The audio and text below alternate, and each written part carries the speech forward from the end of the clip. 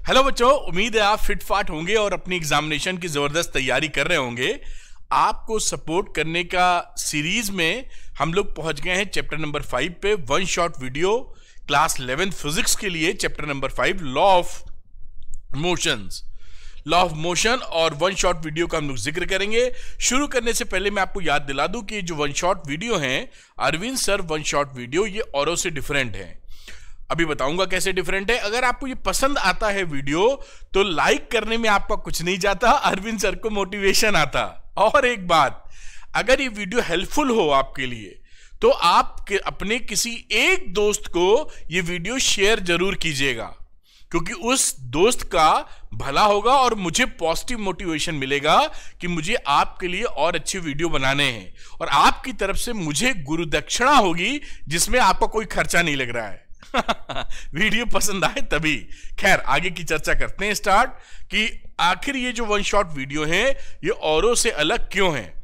क्योंकि इसके अंदर सारे topics Arvind sir one shot सारे टॉपिक कवर किए जाएँगे। किसी बच्चे ने अब तक कुछ नहीं पढ़ा है तो भी ये वीडियो देखेगा तो काफ़ी कुछ उसकी, उसको नॉलेज मिल जाएगी। यहाँ से वो यहाँ पहुँच जाएगा, पक्का है। बस ध्यान से वीडियो को समझते रहना है और अपने नोट्स भी बनाने हैं। प्योर टीचिंग मिलेगी, कोई फालतू टॉक्स नहीं होगी। जैसे मैं पढ़ना, पढ़ाना स्टार्ट करूँगा एक मिनट के बाद, आप देखेंगे प्योरेस्ट फॉर्म ऑफ़ टीचिंग होगी, कोई अगड़म बगड़म झमेलेदार बातें नहीं होगी। कई बच्चों को लगता है, सर, जो आप पढ़ा रहे हैं, इसका प्रेजेंटेशन भी हमको मिल जाए अगर तो बड़ा हेल्पफुल रहेगा। तो उसका भी मैंने बंदोबस्त कर दिया है। आप Arvind academy telegram channel join कर लीजिए, उसका लिंक डिस्क्रिप्शन में दिया है। वहाँ पर मैं इसके प्रेजेंटेशन अपलोड कर दूँगा, जिससे पढ़ाई में कोई रुकावट ना आए आपके, और पढ़ने वाले बच्चे इसका भरपूर इस्तेमाल कर पाए। कई बच्चे क्या होता है कि मुझसे पढ़ना चाहते हैं तो उनके लिए अरविंद अकेडमी ऐप है, जो आप डाउनलोड कर सकते हैं। उसका लिंक भी मैं डिस्क्रिप्शन में लगा रहा हूँ। यहाँ पे कई तरह के कोर्सेज हैं। आप देख लें कि कौन सा कोर्स आपके लिए सुटेबल है, और वो आपको बहुत अच्छे मार्क्स दिलाने में सक्षम है कोर्सेज उम्मीद करता हूँ कि ये आप देखेंगे, और अपने लिए सुटेबल कोर्स लेंगे। आगे चलते हैं और पढ़ाई स्टार्ट करते हैं। तो पहली स्लाइड आती है फोर्स अब देखिए फोर्स तो मैकेनिक्स के अंदर समझ लीजिए सुपरस्टार अमिताभ बच्चन है, क्योंकि इसके बिना तो कुछ होना नहीं है। तो अगर मैं बातचीत करूँ कि फोर्स किसे कहते हैं तो ये आप क्लास नाइन्थ से पढ़ते आ रहे हैं, शायद उससे पहले से भी पढ़ा हो कि फोर्स में be defined as an agency एक पुश या पुल है which changes or tends to change the state of rest or uniform motion और the direction of the motion जो फोर्स है, वो एक एक्सटर्नल एजेंट है, जो या तो चेंज कर देता है या करने की कोशिश करता है टेंस टू बस करने वाला होता है। किन चीज़ों को? यहाँ पर देखिए तीन चीज़ें लिखी हैं। एक तो स्टेट ऑफ़ रेस्ट पहली चीज़। अभी मैं इसको बताऊँगा भी अलग अलग दूसरी कि डायरेक्शन ऑफ़ मोशन चेंज कर दे। तो स्टेट ऑफ़ रेस्ट और यूनिफॉर्म मोशन नंबर टू है और ये नंबर तीन है कि यूनिफॉर्म मोशन कोई बॉडी कर रही है, उस पर फोर्स लगाएँगे तो यूनिफॉर्म मोशन बदल जाएगा, यूनिफॉर्म मोशन चेंज हो जाएगा, यूनिफॉर्म नहीं रहेगा और डायरेक्शन बदलना है तो भी फोर्स की आवश्यकता होगी। तो ये तीन चीज़ें फोर्स आपको करके दे सकता है कि करके हम लोग देखते चलेंगे आगे। आगे बात करते हैं कि effects produced by force force के इफ़ेक्ट क्या होंगे, ये सब आप जानते हैं, लेकिन सारी चीज़ बताते हुए force can change speed of an object किसी की स्पीड बदल सकता है फोर्स किसी का डायरेक्शन बदल सकता है फोर्स और शेप चेंज कर सकता है फोर्स तो ये आप जानते हैं कि स्पीड बदलेगा या डायरेक्शन या आप दबा देंगे किसी चीज़ को, पिचकने वाली है तो शेप भी चेंज हो जाएगा. अब इसमें लॉ ऑफ़ इनर्शिया आता है, इसके लिए गैलीलियो साहब, जिसे आप फादर ऑफ़ फिजिक्स बोलते हैं, उन्होंने दो एक्सपेरिमेंट किए, और भी किए होंगे, दो जो हमारे कोर्स से लिंक्ड है, उसकी बात मैं कर रहा हूँ इनर्शिया से, दो बड़े इंपॉर्टेंट एक्सपेरिमेंट किए, और उससे कुछ कंक्लूजन निकाला जो लॉ ऑफ़ इनर्शिया के बारे में कहता है। पहला जो उनका एक्सपेरिमेंट था, जो आप देख रहे हैं, उन्होंने एक ऊंचाई से स्लोप से, जहाँ ढलान होती है, वहाँ पे एक बॉडी को नीचे छोड़ा तो उन्होंने देखा इसकी स्पीड बढ़ गई इधर। इस बॉडी को यहाँ आप छोड़ेंगे तो इसकी स्पीड बढ़ गई इधर। एरो ठीक से बना दूँ, कुछ अजीब सा बन गया है। और जब वो इस बॉडी को स्लोप की विपरीत दिशा में, यानी अपवर्ड डायरेक्शन में चढ़ाने की कोशिश करते हैं तो यहाँ पर स्पीड घटने लगी, यहाँ बढ़ने लगी, यहाँ घटने लगी। तो उन्होंने इससे ये इन्फ्रेंस निकाला कि अगर हम ढलान से छोड़ते हैं तो बढ़ती स्पीड और ढलान पे चढ़ाते हैं तो घटती स्पीड। अगर हम ढलान रखें ही ना, समतल रख दें तो स्पीड ना बढ़ेगी ना घटेगी, इसका मतलब यानी वो यूनिफॉर्म स्पीड रहेगी। तो ये इन्होंने तीसरा चीज़ पकड़ी कि जहाँ पे स्लोप नहीं है, हॉरिजॉन्टल मोशन है तो वहाँ पर स्पीड में बदलाव नहीं होगा, कांस्टेंट स्पीड रहेगी। एक एक्सपेरिमेंट ये था। समझ पाए कि भाई अगर किसी को स्लोप नहीं दे रहे हैं तो जिस स्पीड से वो चल रहा है, वो मेंटेन करके रखेगा। अब दूसरा क्या है एक्सपेरिमेंट दूसरे एक्सपेरिमेंट में उन्होंने क्या देखा? एक इस तरह का एक मॉडल लिया। एक एक समझ लीजिए एक तश्तरी ली, एक बर्तन लिया, एक जो भी आप समझे, एक ऑब्जेक्ट लिया, उसमें ये जो पार्ट था इंक्लिनेशन या स्लोप दोनों के पहले वाले पार्ट में सेम था। एक बॉडी को ड्रॉप किया तो देखा क्या कि वो बॉडी जितनी हाइट पे यहाँ थी, उतनी हाइट को अचीव करने के लिए चढ़ गई ऊपर। तो इनिशियल फाइनल पोजीशन बराबर आ गई। अब दूसरे वाले सिस्टम में क्या किया कि इसके स्लोप को थोड़ा सा और डाउन कर दिया, कम कर दिया। स्लोप कम कर दिया, फिर भी क्या देखा उन्होंने कि यहाँ पर जो हाइट थी, इसको कवर करने के लिए वो हाइट उसने सेम रखी। भले उसको डिस्टेंस ज़्यादा चलना पड़ा, यहाँ पे डिस्टेंस कम था। अब इसको जैसे आप ऐसे मोड़ देंगे तो डिस्टेंस ज़्यादा हो जाएगा। तो ये डिस्टेंस इसको, अगर ये D1 है D2 तो D2 D1 से ज़्यादा हो गया। आप समझ पाए होंगे, लेकिन इस हाइट को अचीव करने के लिए ये बॉडी आगे तक गई। अब उन्होंने क्या किया कि ये जो स्लोप था, उस स्लोप को खत्म ही कर दिया फ्लैट कर दिया। अब इस बॉडी को अगर आप छोड़ेंगे तो ये हाइट अचीव करने के चक्कर में यहाँ पे डिस्टेंस ज़्यादा गई थी, यहाँ पे इनफाइनाइट डिस्टेंस चली जाएगी। कि भाई हमें हाइट मिल जाए। ये यहाँ पर क्यों गई? क्योंकि हाइट उसको अचीव करनी थी तो ज़्यादा डिस्टेंस चली गई। और हाइट को हम अगर हम फ्लैट कर दें तो हाइट अचीव करने के चक्कर में ज़्यादा की जगह बहुत ज़्यादा, यानी इनफाइनाइट डिस्टेंस चलती चली जाएगी। तो इस बात से क्या उनकी समझ में आ रहा था? उनकी बात में समझ में आ रहा था कि अगर किसी बॉडी को हम छोड़ दें तो वो जिस तरह के मोशन में है, वैसे ही रह जाएगी। वो चेंज नहीं करेगी। तो यही लॉ ऑफ़ इनर्शिया बनाने लगे। यहाँ पर देखिए, लिखा है a body moving with a certain speed along a straight path straight path will continue to move with the same speed along the same straight line in the absence of external forces. This is called law of inertia.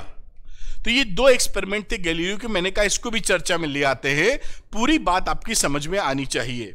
तो इससे इन्होंने यही बताया law of inertia आगे law of inertia Newton ने भी उसको और न्यूटन के शिष्य थे, एक तरीके से कह लीजिए, बड़ा मानते थे गैलीलियो से, बड़े इंप्रेस थे। तो उन्होंने आगे की चर्चाएँ भी की। अब इनर्शिया किसे बोलेंगे? एग्जामिनेशन में आ जाए तो ये तो समझाने की प्रक्रिया है। एग्ज़ाम में आए तो क्या लिखेंगे? द इनहेरेंट प्रॉपर्टी इनहेरेंट मतलब उस प्रॉपर्टी का एक अंदरूनी गुण है। अंदरूनी गुण आप समझते हैं ना, जैसे कि एक मिठाई है तो मीठी होती है, समझ लीजिए। तो उसका इनहेरेंट उसके अंदर है मिठास। उसका कुछ निकाल नहीं पाएँगे मिठास। तो the inherent property of a material body by virtue of which it cannot change by itself is state of rest or uniform motion in a straight line is called inertia simple सी बात इतनी है कि अगर कोई body किसी भी state में है तो वो बिना एक्सटर्नल फोर्स के अपने आप वो स्टेट नहीं चेंज कर सकती कौन सी स्टेट होती है या तो वो रुकी हुई है यूनिफॉर्म स्पीड से चल रही है यूनिफॉर्म मोशन तो वो चेंज नहीं कर पाएगा और डायरेक्शन भी नहीं चेंज कर पाएगा। तो ये इनर्शिया होता है। इसी बेसिस पर तीन इसके इनर्शिया कह दिए जाते हैं। एक है इनर्शिया ऑफ़ रेस्ट जैसे तीन टुकड़े किए गए थे, उन्हीं के तीन टुकड़े हैं। तो इनर्शिया ऑफ़ रेस्ट क्या है? कि अगर कोई बॉडी रुकी हुई है तो विथआउट एक्सटर्नल फोर्स वो चलने नहीं लगेगी। अगर कोई किताब किसी टेबल पे पड़ी है या ये पेन मेरे हाथ पे है तो ये अपने आप नहीं चल सकता है। हम जब इसको धक्का मारेंगे एक्सटर्नल फोर्स लगाएँगे, तभी हिलेगा ये बदमाश। ये अपने आप नहीं हिल सकता है। आप समझ रहे हैं? तो ये कहानी ए पर्सन स्टैंडिंग इन ए बस यहाँ पर जैसे बात लिखी है कि a bus backwards when the bus suddenly start moving आप किसी बस में बैठे हो और एकदम से बस चल पड़े तो आप झटका लग जाता है पीछे की तरफ़। या आप स्कूटी पे पीछे बैठे हो, बाइक पे पीछे बैठी हो तो जब वो बाइक एकदम से चलती है, स्कूटी चलती तो आपको झटका लगता है। ऐसे क्यों? क्योंकि आप रेस्ट की पोजीशन में ही रहना चाहती हैं, चाहते हैं या चाहती हैं। तो बॉडी रेस्ट की पोजीशन में रहती है और नीचे वाली आगे खिसक गई बाइक के साथ। तो ये हिस्सा वही है, नीचे वाला आगे चला गया तो आपको झटका लगता है पीछे की तरफ़। ये है स्टेट ऑफ़ रेस्ट और मैंने जो किताब की या पेन का एग्ज़ाम्पल बताया, वो तो है ही साथ में। दूसरा है, इनर्शिया ऑफ़ मोशन। ये मोशन कैसा है? The tendency of a body to remain in state of uniform motion in a straight line is called inertia of motion कोई बॉडी अगर मूव कर रही है, एक स्टेट लाइन में चल रही है सपोज़ करिए एक बॉडी और वो यूनिफॉर्म मोशन में है तो ये यूनिफॉर्म मोशन बरकरार रहेगा। जब तक उस पर एक्सटर्नल फोर्स ना लगाया जाए। तो यही लिखा when a moving bus suddenly stops a person sitting in it fall forward यानी बस में अगर आप बैठे हैं या स्कूटी कह लीजिए, अगर स्कूटी पे चल रहे हैं, आप पीछे बैठे हैं, एकदम से जब ब्रेक मारी जाती है तो आप आगे झुक जाते हैं। क्योंकि बॉडी आपकी मूव कर रही है मूव करते रहना चाहती है। जब तक कि कोई एक्सटर्नल फोर्स न लगे फोर्स लगा तो झटके में आगे चले गए आप। अपने आप आप जब तक फोर्स ना लगावें, तब तक चेंज नहीं होगी बॉडी या तो कोई धक्का आपको मारे या अपने आप अपने मस्कुलर पुश या पुल को आप अंजाम दें। ठीक? तो ये मोशन की कहानी हो जाती है। और इसके बाद आता है इनर्शिया ऑफ़ डायरेक्शन किसी भी बॉडी का डायरेक्शन अपने आप नहीं बदल सकता। एक्सटर्नल फोर्स लगाएँगे तभी डायरेक्शन बदलेगा। जैसे वेन ए बस टेक्स ए शार्प टर्न जब बस शार्प टर्न लेती है तो जो लोग बैठे होते हैं, वो उसी तरफ़ झुक जाते हैं। झटका लगता है उनको। या बाइक पे भी कोई टर्न लेगा तो भी आपको लगता है बाहर निकल रहे हैं।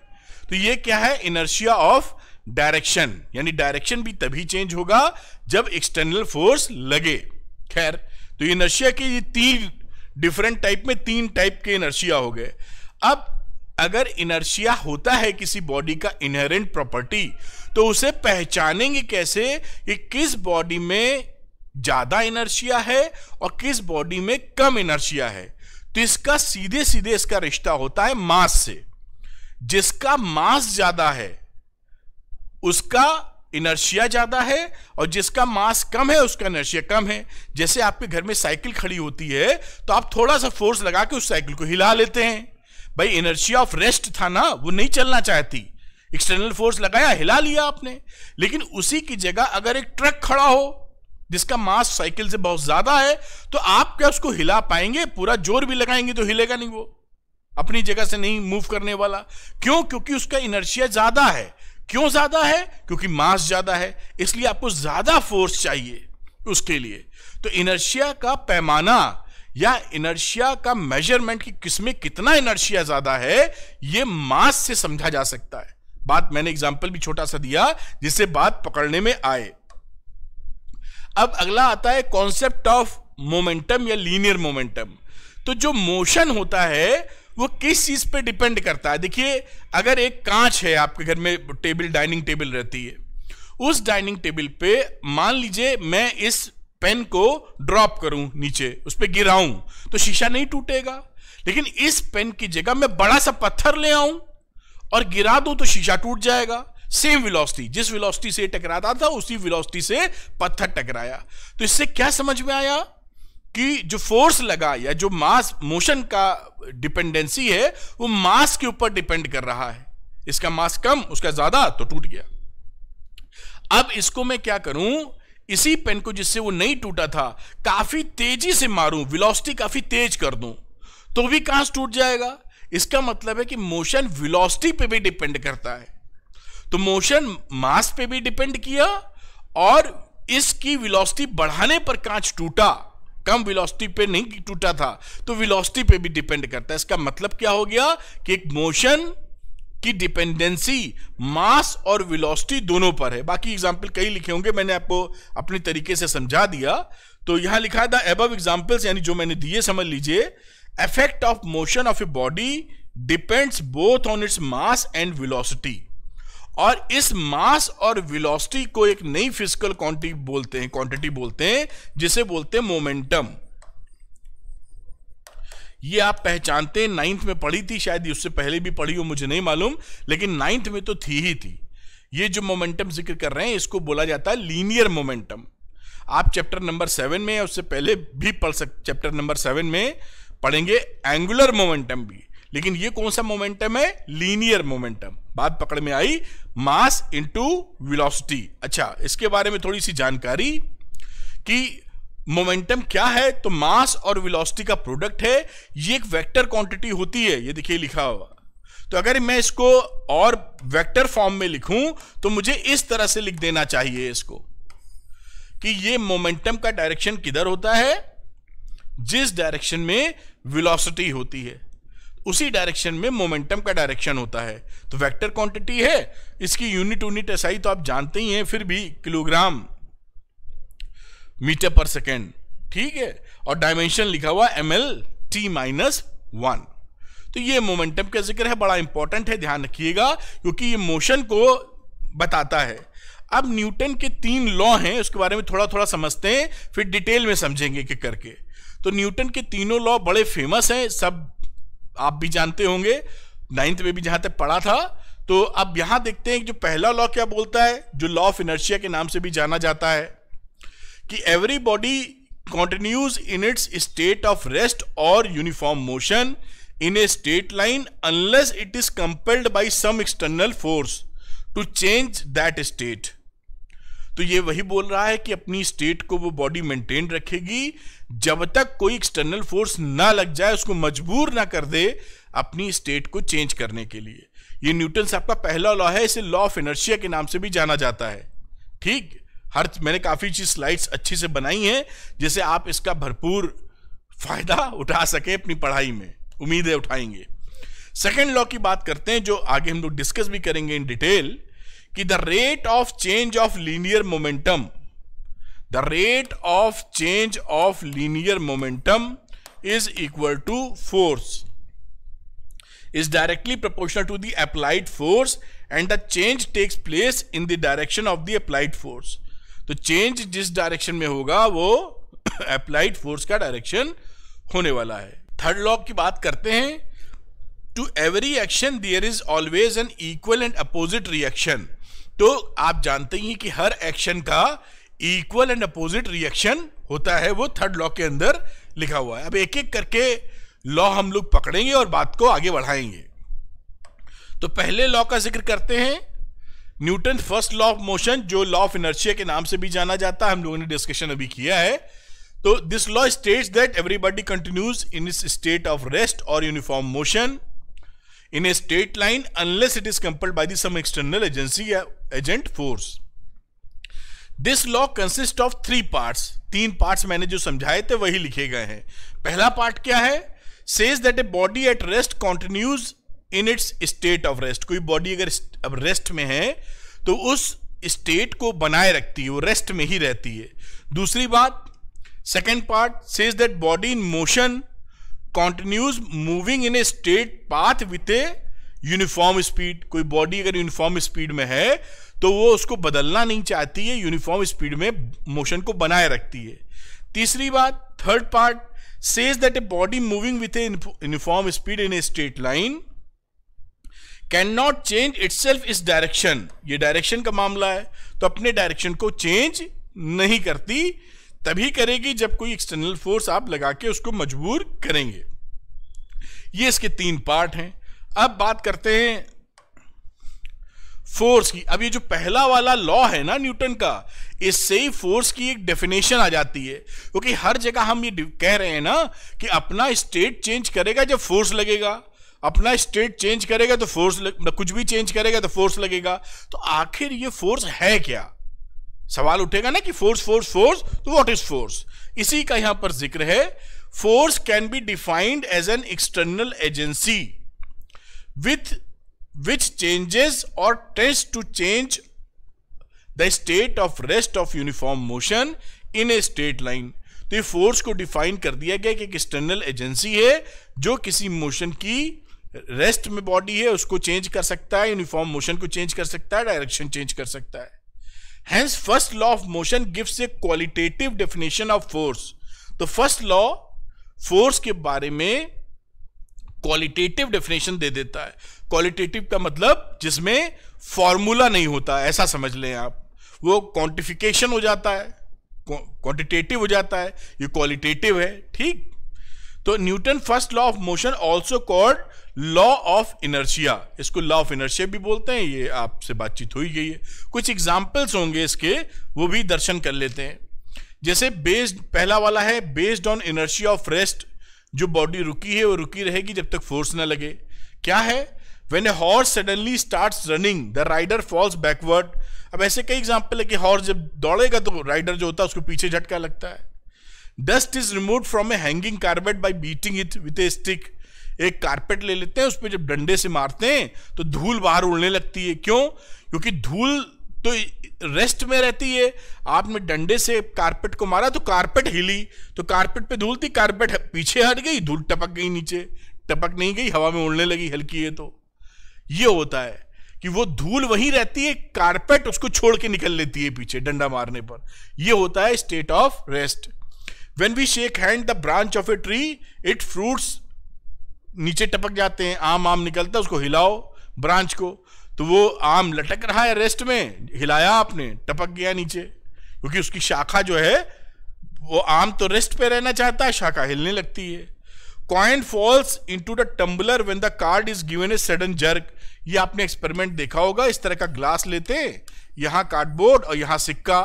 अब इस पर अगर तेज़ी से आप इसको हिट कर दें तो ये सिक्का इसके अंदर टपक जाएगा।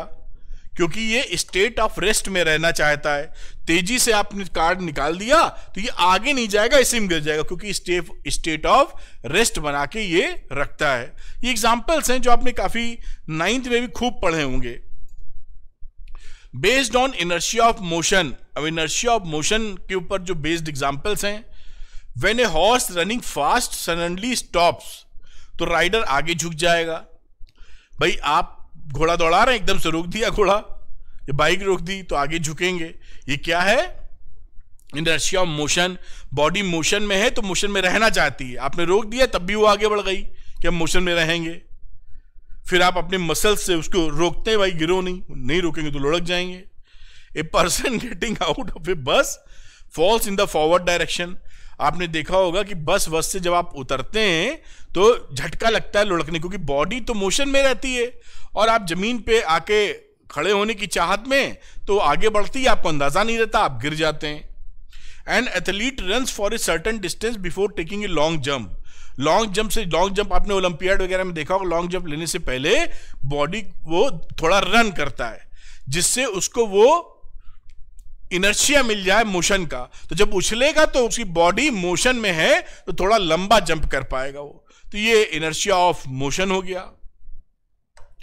अब इनर्शिया ऑफ़ डायरेक्शन की बात कर लीजिए तो during the sharpening of a knife, the sparks coming from the grindstone fly off tangentially आपने देखा होगा कि चाकू या कैंची पे धार वार जब कराते हैं तो उसमें जो चिंगारी निकलती है वो चिंगारी टेंजेंशियली निकलती है। मतलब जो जो पत्थर से वो तेज़ी से घुमाता है ना तो उसके ऊपर जब लगाते हैं तो जुर्र काफ़ी तगड़ी, आपने देखा ज़रूर होगा, ऐसी उम्मीद करता हूँ।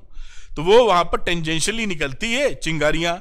इससे क्या साबित हो रहा, होता है कि चीज़ें डायरेक्शन नहीं बदलना चाहती। जब तक मजबूर ना किए टेंजेंशियली निकलने का मतलब डायरेक्शन वही है। ये जैसे है तो कोई चीज़ मूव कर रही है, यहाँ पर आई और बाहर निकलने का मौका है तो इसी दिशा में आगे बढ़ गई।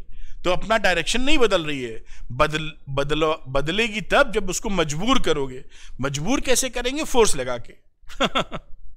तो when a vehicle moves the mud sticking to its wheels fly off tangentially आप साइकिल चलाते होंगे बाइक चलाते होंगे स्कूटी चलाते होंगे तो जब कभी पानी की बरसात हो, कीचड़ हो तो कीचड़ में ले जाएँगे तो धाए से कीचड़ टेंजेंशियली उछल जाता है पीछे।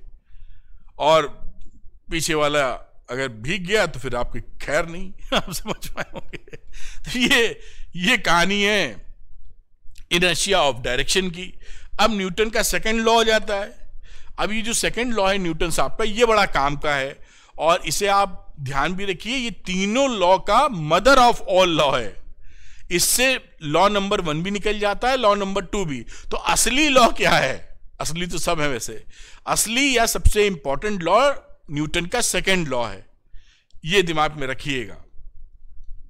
तो सेकेंड सेकेंड लॉ क्या बोलता है? ये वहाँ पे बातचीत आप, हम लोग कर चुके थे कि जो फोर्स होता है, वो मोमेंटम का जो रेट है चेंज होने का। Rate of change in momentum is called force तो फोर्स का डायरेक्शन जिस डायरेक्शन में मोमेंटम चेंज हो रहा है। अब the rate of change of momentum is directly proportional to the applied force ये सब लिख दिया था। The change of momentum occurs in the direction of the force ये भी बातचीत आपसे हो गई थी। तो ये नंबर टू लॉ है। इसी लॉ से बात किया जाए, ये देखिए मैग्नीट्यूड लिखा हुआ है, वरना तो आप वेक्टर फॉर्म में ऐसे लिखते हैं। ये इसका मैग्नीट्यूड फॉर्म है तो एफ़ को लिखते हैं डीपी अपॉन डी और एफ़ इज़ इक्वल टू देखिए एम ए लिखा हुआ है और एक्सेलेशन क्या आ जाए, क्योंकि ये ये जो है डीपी अपॉन डी टी यहाँ पर डी अपॉन डी टी कर दीजिए और पी को लिख सकते हो एम वी तो एम वी लिखते हो तो ये आ जाएगा M DV upon D T और डीवी अपॉन डी टी क्या होता है? एक्सेलेशन तो फोर्स की वैल्यू एक्सेलेशन के बराबर आ जाती है। एम ए एम ए और एक्सेलेशन को v minus U upon T rate of change of velocity तो ये आपको पता ही है, और इसको ध्यान रखिए, एक यूनिट फोर्स क्या होगा? वन यूनिट मास और one unit acceleration M one कर दो ए वन कर दो, एक न्यूटन का फोर्स निकल आएगा। तो उसको आप डिफाइन कर सकते हैं उस तरीके से। ये डायमेंशन भी है M L T minus two इसको याद रखिएगा, बड़ी काम आती है। जगह जगह इस्तेमाल होता रहता है इसका। चलिए, और कुछ इसी की डेफिनेशन से जो आप याद कर लीजिएगा, ध्यान कर लीजिएगा। सामने इसलिए लेके आया हूँ कि आपको तकलीफ़ ना हो। तो एब्सोल्यूट यूनिट ऑफ़ फोर्स जब बात करें तो an absolute unit of force is that force which produces a unit acceleration in a body of unit mass M की वैल्यू वन ए की वैल्यू वन तो जो फोर्स है उसे क्या बोलेंगे? एब्सोल्यूट फोर्स तो एक न्यूटन के लिए वन के और one metre per second square का एक्सेलेशन तो वन न्यूटन मिल गया। इसी तरह ये सीजीएस सिस्टम की बात करें तो one dyne is equal to one gram into one centimetre per second square ये डाइन के लिए हो गया, जो सीजीएस यूनिट ऑफ़ फोर्स होती है। आगे देखते हैं, कुछ और फोर्स की यूनिट्स आएँगी ग्रेविटेशनल यूनिट ऑफ़ फोर्स कई न्यूमेरिकल्स में ऐसा लिखा हुआ दिखेगा तो आप वहाँ सहज रहें या आपको मालूम रहे। इसके लिए ये वैल्यूज़ देखिए लिखी हैं। A gravitational unit of force is that force which produces an acceleration equal to G in a body of unit mass unit mass में एक्सलेशन जी प्रोड्यूस कर दे। वो फोर्स बोला जा रहा है यहाँ। यानी वो फोर्स कैसे लिखा हुआ दिखता है आपको? देखिए किलोग्राम फोर्स के ऐसे लिख के दिखेगा। कई जगह देखे होंगे आप। तो इसको अगर हम एब्सोलूट फोर्स में बदलें, या वन के वेट लिखा हुआ देखेंगे। वन के वेट वन के फोर्स तो क्या समझेंगे? इसको 9.8 से मल्टीप्लाई कर देंगे आप। तो 9.8 न्यूटन हो जाएगा। ये ध्यान रखिएगा, ये लिखा हुआ कई जगह आपको दिखाई पड़ता है। इसी तरह सीजीएस सिस्टम में बात करें तो वन ग्राम वेट या वन जीएफ देखेंगे तो 980 डाइंस हो जाएगा। तो ये आपको पता होगा, मैं सामने इसलिए लाया कि दिमाग में रहे। न्यूटन एंड डाइन के अंदर क्या रिलेशन है, वो भी मैंने लिख दिया, जैसे आपको कहीं किसी तरह तकलीफ़ का सामना ना करना पड़े। One newton is equal to ten की पावर फाइव डाइन तो इस रिलेशनशिप को भी दिमाग में रखिए, जिससे कहीं कोई परेशानी ना खड़ी हो। अच्छा फोर्स के जो कंपोनेंट फॉर्म में लिखते हैं, जो फोर्स का, वो यहाँ पे लिखा हुआ है। कंपोनेंट फॉर्म का मतलब Newton second law in component form component form का मतलब एक्स वाई जेड की डायरेक्शन में। ऐसे समझ लीजिए, ज़्यादा डिटेल बताएँगे तो काफ़ी वक्त लगेगा।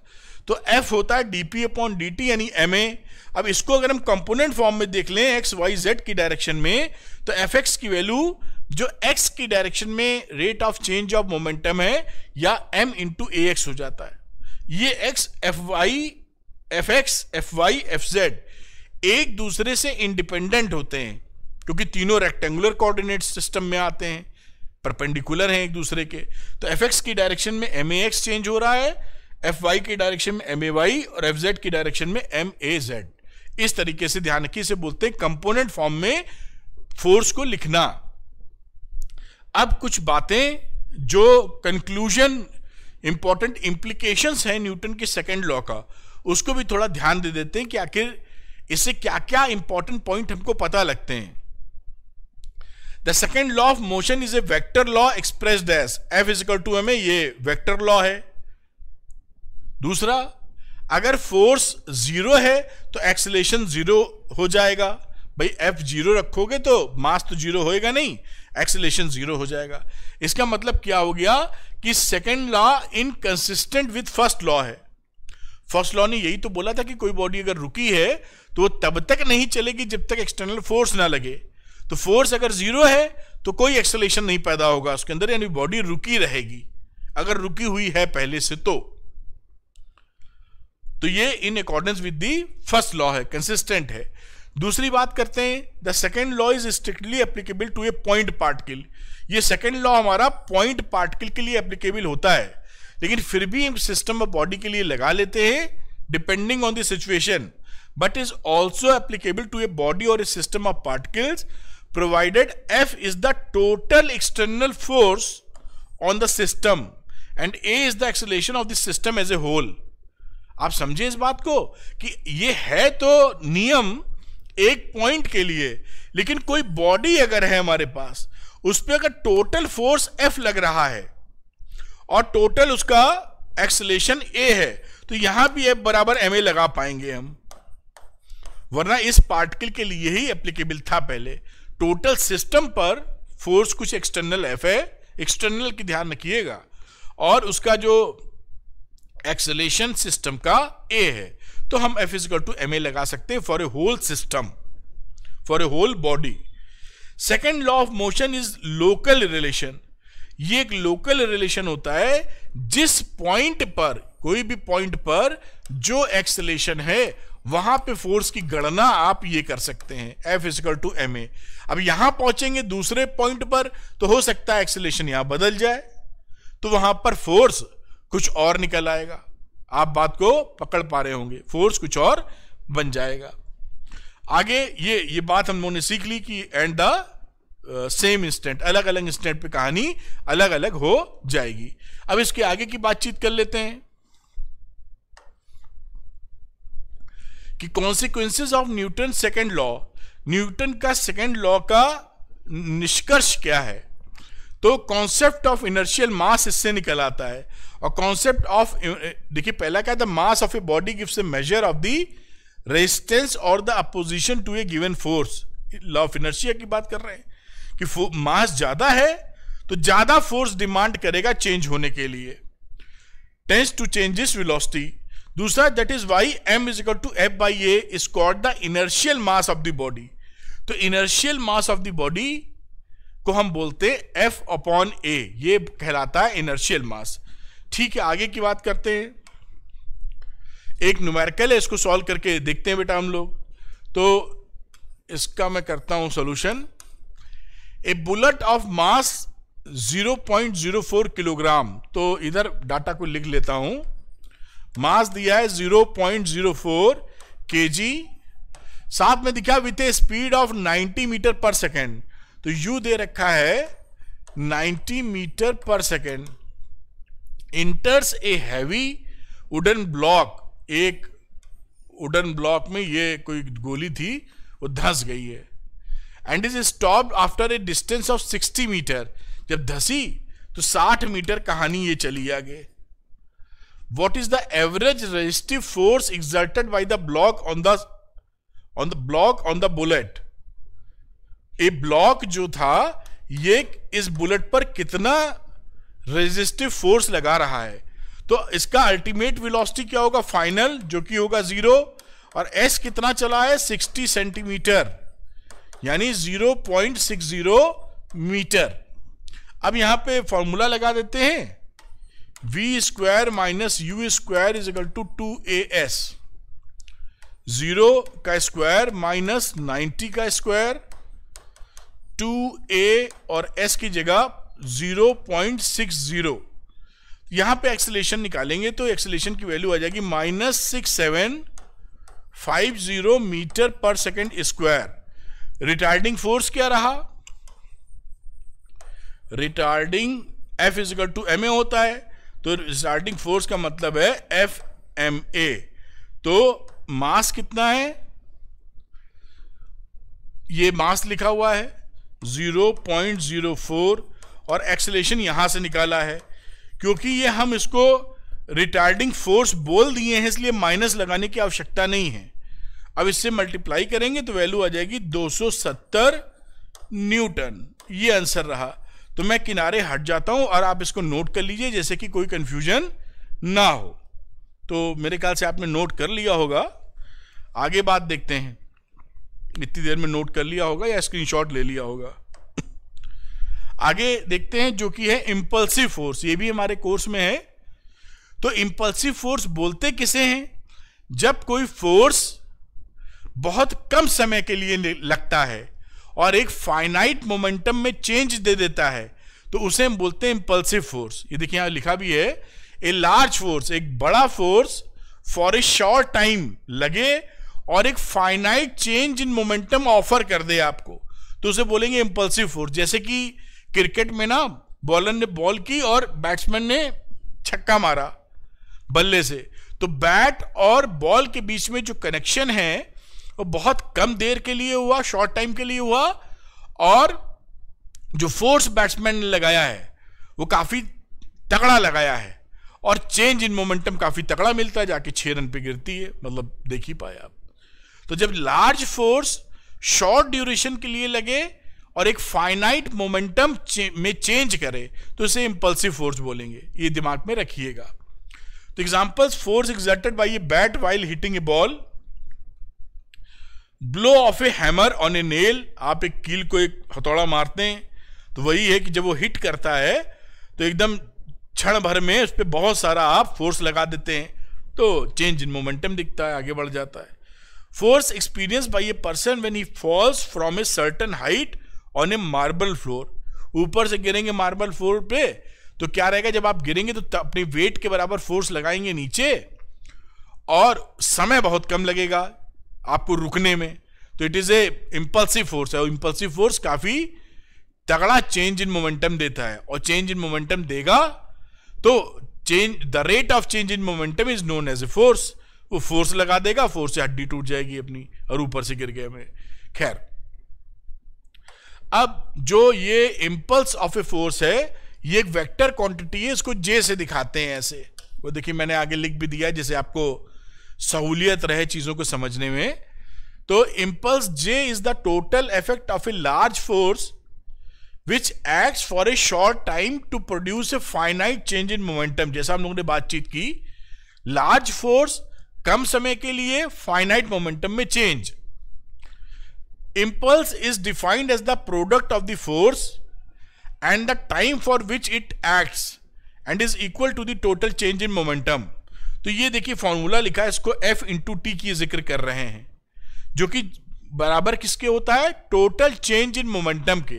तो जे की जो वैल्यू ये मैग्नीट्यूड लिखा हुआ है जे की वैल्यू होगी एफ़ इंटू टी जो बराबर रहेगा M V minus U change in momentum के। इंपल्स एक वेक्टर क्वांटिटी है। Its direction is same as that of force force की जो डायरेक्शन होगी, वही जे की डायरेक्शन होती है। और या चेंज इन मोमेंटम जिस डायरेक्शन में, उस डायरेक्शन में जे का डायरेक्शन होगा।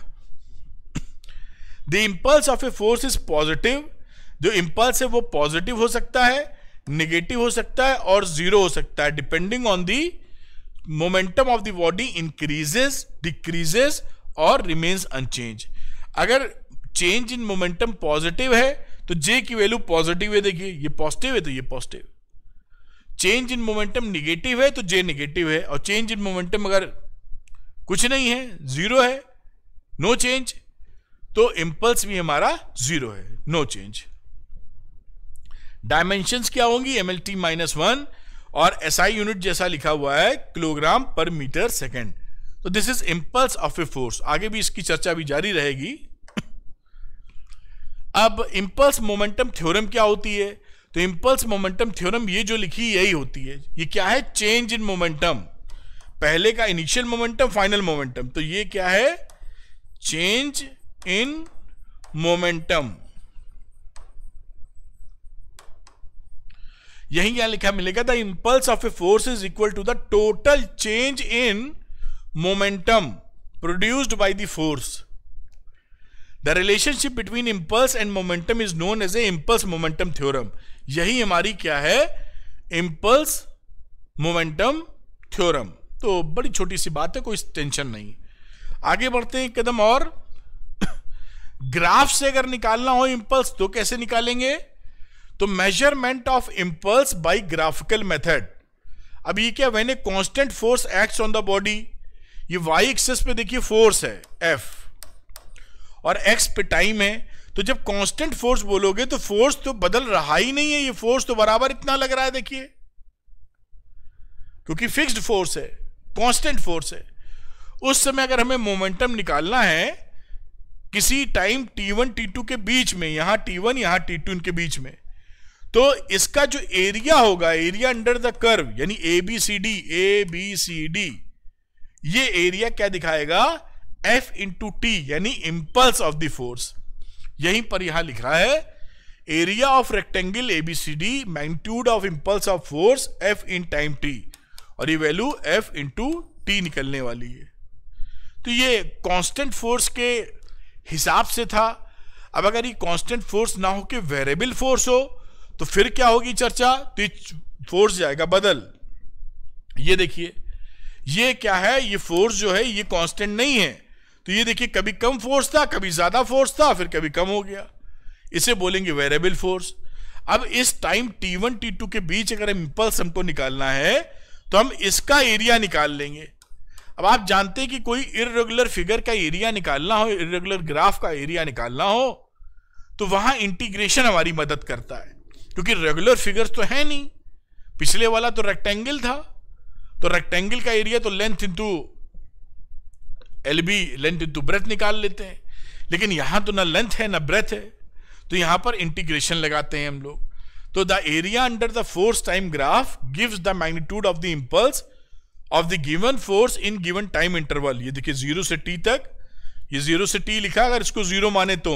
अदरवाइज़ ये इंटीग्रेशन की लिमिट लगा दीजिएगा टी वन से टी टू बात समझ में आ रही होगी आपको। एफ़ डी टी और ये एरिया निकाल देगा, जो एरिया इंपल्स को शो करेगा in case of variable force बड़ी छोटी छोटी बातें और सरल बातें हैं, अगर आप ध्यान पूर्वक उसको समझ रहे हैं तो। अच्छा अब इसके प्रैक्टिकल एप्लीकेशंस जिससे कि और बेहतर तरीके से आप समझ पाए इंपल्स के। एक cricket player lowers his hand while catching ball जब बॉल को कैच करते हैं तो आपने देखा होगा कि थोड़ा सा हाथ पीछे करते हैं, इसीलिए कि इंपल्स हमें कम महसूस हो।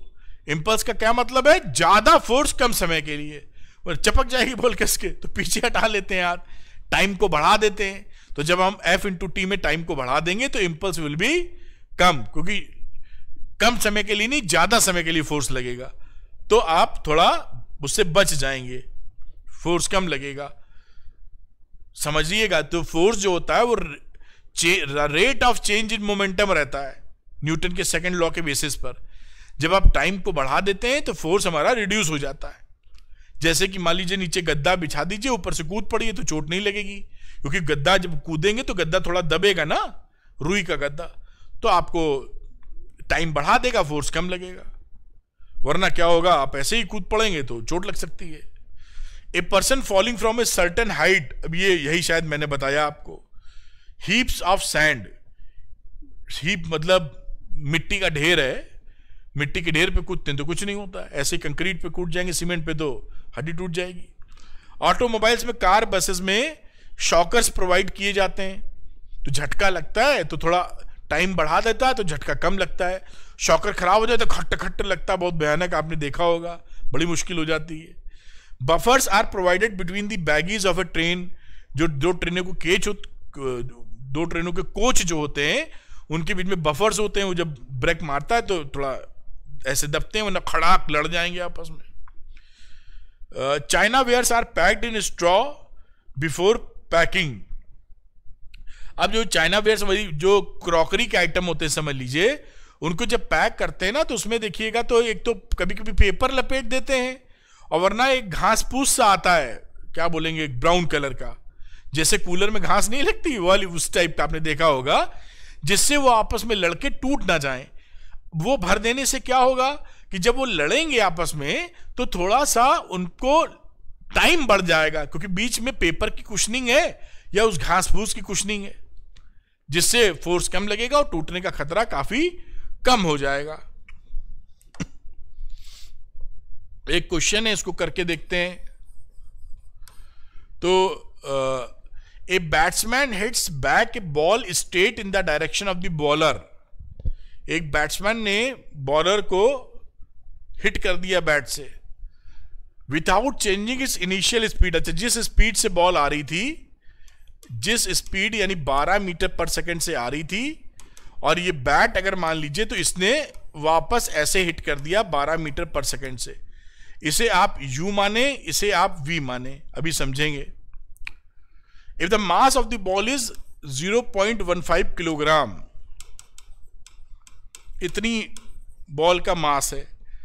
Determine the impulse imparted imparted to the ball assume linear motion of the ball तो देखिए इंपल्स कितना होता है? इंपल्स की वैल्यू होती है चेंज इन मोमेंटम इंपल्स अगर निकालना है तो ये क्या है? चेंज इन मोमेंटम ये तो समझाने के लिए लिखा है, वरना इतना लिखने की जगह आप क्या लिखेंगे? M V minus U this is change in momentum और मास गिवन है 0.15 किलोग्राम अब यहाँ जो वेलोसिटी है ना विथ डायरेक्शन डालेंगे। तो अगर ये डायरेक्शन हम पॉजिटिव ले रहे हैं इधर का तो ये v हमारा निगेटिव डायरेक्शन हो जाएगा। तो v minus U minus twelve और माइनस ट्वेल्व ये तो पॉजिटिव ही है। ये चेंज इन मोमेंटम है, यानी 0.15 और ये आपका जाएगा जुड़ तो जुड़ के आ जाएगा 24 तो माइन माइनस लिख दो बाहर। इंटू चौबीस, यानी यह आया minus three point six newton per second F into T है ना तो उसी का यूनिट एफ़ मतलब फोर्स न्यूटन मतलब और टी का यूनिट सेकेंड तो इस भाषा में लिख दीजिए minus three point six newton per second इसमें निगेटिव साइन क्या इंडिकेट कर रहा है? कि डायरेक्शन ऑफ़ इंपल्स किधर है? फ्रॉम बैट्समैन टू बॉलर तो negative sign shows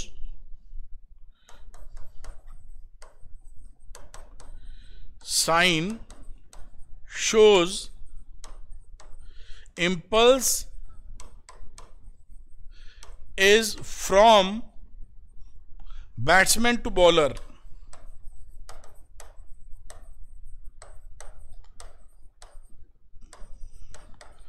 कैसे बैट्समैन टू बॉलर क्योंकि इसी डायरेक्शन को तो निगेटिव लिया था, ये तो बैट माना था हमने। इधर वाले को प्लस इधर वाले को निगेटिव ये देखो। तो अगर ये निगेटिव आया तो इंपल्स का टोटल चेंज ऐसे आएगा। तो मैं हटता हूँ, इसे आप नोट स्क्रीनशॉट ले लें। या पॉज करके नोट कर लें। फिर अगला एक इंटरेस्टिंग सवाल लेते हैं। अब तक नोट कर लिया होगा आपने, आगे देखते हैं। अगला फिर न्यूमेरिकल है।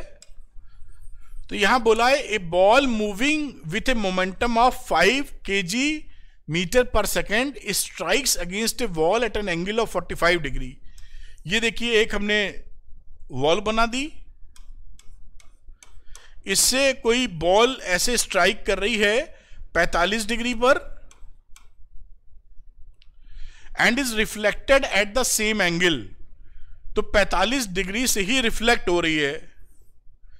तो अगर मैं इसको ही 45 मान लू रिफ्लेक्शन का तो ये पूरा ये नॉर्मल है तो 90 90 ये 45 हो गया, और ये भी इसी तरीके से 45 हो गया। इस तरह से बॉल का कार्यक्रम हो रहा है। अब कलर में थोड़ा चेंज कर लूँ, जैसे बताते बने आपको। And is reflected at the same angle calculate the change in momentum तो मान लेते हैं कि शुरुआती में जो मोमेंटम था, वो पी था। जो ए बी सी डी नाम देना चाहो तो ए बी सी और इसको एन ई लिखा रहने दो और सी के बाद क्या आएगा? डी और ये रहा ई e. तो अब यहाँ ये जो पी जा रहा है मोमेंटम मोमेंटम वेक्टर क्वांटिटी होती है। तो इसके हम दो कंपोनेंट कर लेते हैं। इस पी के, क्योंकि दिशा इधर है ना, देखिए, इसकी दिशा ऐसे है। तो इसके दो कंपोनेंट करोगे तो एक कंपोनेंट आ जाएगा इस डायरेक्शन में, और एक कंपोनेंट आ जाएगा इस डायरेक्शन में। ये 45 है, ये भी 45 हो जाएगा। तो ये वैल्यू होगी P cos 45 और ये होगी P sin 45 अब दूसरा कलर लेते हैं जिससे कि आप और अच्छे से समझ पाए। अब ये रिटर्निंग बैक मोमेंटम P इधर है।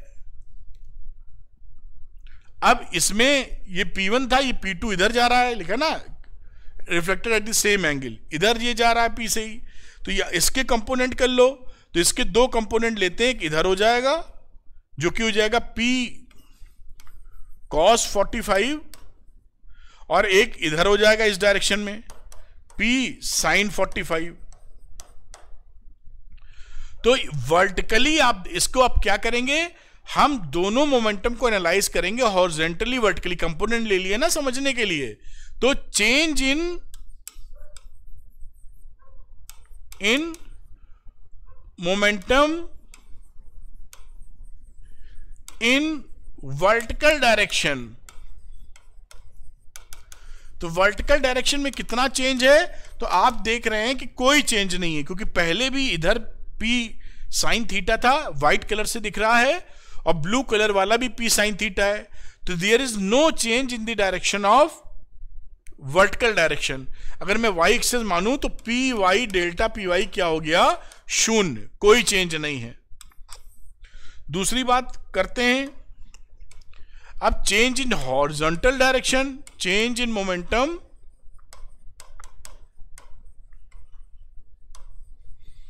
momentum in horizontal direction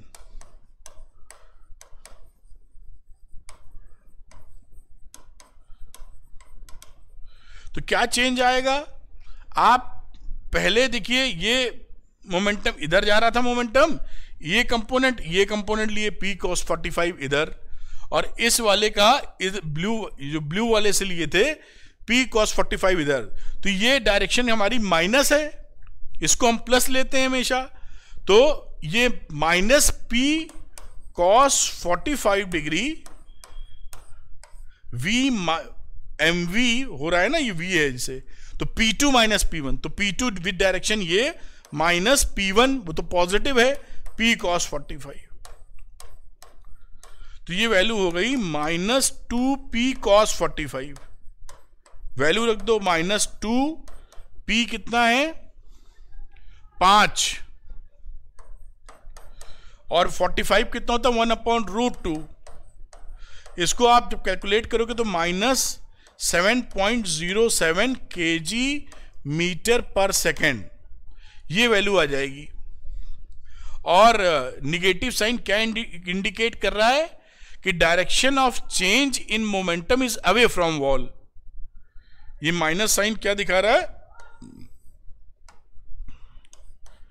ये बता रहा है कि direction of change in momentum is away from wall is away from the wall. क्योंकि निगेटिव साइन हमने इधर कोई कंसीडर किया ना तो पॉजिटिव था। इस तरीके से ये सवाल मैंने कराया, जिससे आपको ज़्यादा लॉजिक और कॉन्सेप्ट क्लियर हो पाए। इसको भी नोट कर लीजिए, हट जाता हूँ मैं, नीचे कर देता हूँ, जिससे आप स्क्रीनशॉट ले पाने की हालत में आ जाएँ।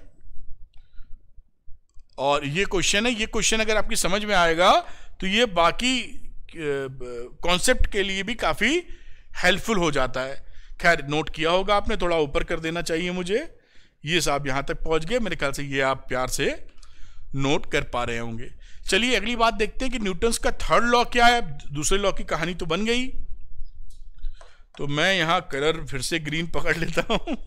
और अब न्यूटन थर्ड लॉ बड़ा ही इजी है, लेकिन थोड़ी समझदारी चाहिए इसमें।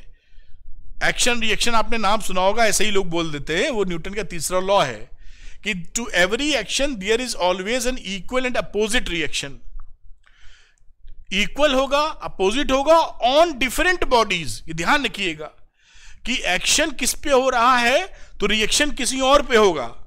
एक्शन रिएक्शन दोनों इक्वल एंड अपोजिट होते हैं ऑन डिफरेंट बॉडीज ये ध्यान रखने वाली बात है। अभी फिर से बोलेंगे different bodies reaction is equal to minus action दो बॉल आपस में टकरा गई ए बी जैसे आप दिख रही है।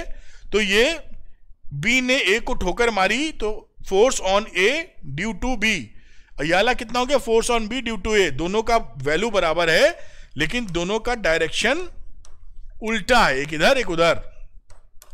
तो वेक्टोरली लिखेंगे तो ऐसे लिखेंगे आप।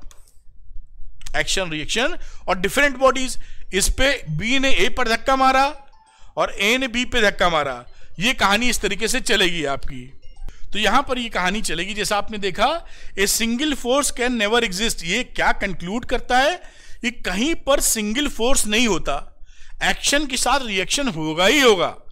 आप एक्शन करें रिएक्शन ना हो, ये संभव नहीं है। तो there is no single force और आप देख ही पा रहे हैं कि ए पर जो बी ए पर फोर्स लगा रहा है और ए बी पर। यानी अल्टीमेटली दोनों, दो बॉडी पे दो फोर्सेस हैं। एक्शन रिएक्शन एक पर नहीं है, वरना आप कह देंगे कैंसिल क्यों नहीं हो जाता? कई बच्चे पूछते हैं सर एक्शन रिएक्शन आपस में कैंसिल क्यों नहीं हो जाता? तो भैया कैंसिल तो तब होता जब एक बॉडी पे लगता है। जब किसी एक बॉडी के ऊपर आप एफ़ इधर और एफ़ इधर लगाओगे तो वो कैंसिल हो जाता है। लेकिन कोई अलग अलग बॉडी है, इस पे एफ़ इधर, इस पे एफ़ इधर तो काहे को कैंसिल होगा? इसलिए कैंसिल नहीं होता। कि दो लड़के टकरा गए तो दोनों को चोट लग जाएगी। ये नहीं कि खत्म हो गया कटपिट के। तो the forces always exist in pairs ये बात बड़ी महत्वपूर्ण है कि फोर्सेस सिंगल फॉर्म में नहीं मिलेंगे। हमेशा पेयर के फॉर्म में मिलेंगे। तो ये बात पकड़ने वाली है। चलिए, आगे की बात करते हैं। अब some important points regarding third law of motion Newton third law of motion is applicable irrespective of the nature of the forces कोई भी फोर्स हो, ये न्यूटन का तीसरा नियम लगेगा ही लगेगा। Action and reaction always act on different bodies ये ध्यान रखिएगा, मैंने इसको काफ़ी तरजीह दी है, क्योंकि यहीं पर गड़बड़ हो जाता है हम समझ नहीं पाते चीज़ों को। The forces of action and reaction can not cancel each other ये क्यों कहीं कैंसिल होता है, इसके भी चर्चा मैंने अभी आपके साथ की है। No action can occur in the absence of a reaction कोई एक्शन ऐसा नहीं होगा, जो रिएक्शन की एब्सेंस में हो, यानी एक्शन रिएक्शन दोनों होंगे ही होंगे। फोर्स पेयर में मिलेंगे। सिंगल फोर्स नहीं मिलने वाला। ठीक है, आप समझ गए होंगे पूरी तरीके से। इसी के कुछ एग्जाम्पल्स हैं हमारे जीवन में। तो जैसे कि न्यूटन थर्ड लॉ के कि book kept on a table एक किताब आप टेबल पर रख देते हैं यहाँ पर। वेट लग रहा है नीचे और इसका रिएक्शन लग रहा है ऊपर। तो आर को लिख देते हैं माइनस डब्ल्यू ध्यान रखिएगा एक्शन एक्शन अलग है। किताब ने, किताब का जो वेट लग रहा है, वो टेबल पे लग रहा है। अपने पे नहीं लग रहा है टेबल पे लग रहा है। और टेबल जो रिएक्शन दे रहा है, वो किताब पे लग रहा है। दो डिफरेंट बॉडीज खैर। While walking we press the ground action with our feet slightly slanted in the backward direction जब हम चलते हैं तो हम अपने थोड़ा तिरछा होकर पंजे से फोर्स लगाते हैं, जिससे हम आगे बढ़ते हैं। ये शुरुआती दौर में जब हम चलना सीखते तो इतनी प्रैक्टिस हो जाती कि कभी ध्यान नहीं जाता। तो एक्शन करते हैं ज़मीन के ऊपर और रिएक्शन मिलता है हमें अपने ऊपर और हम आगे बढ़ जाते हैं। ये एक्शन, रिएक्शन की कहानी है।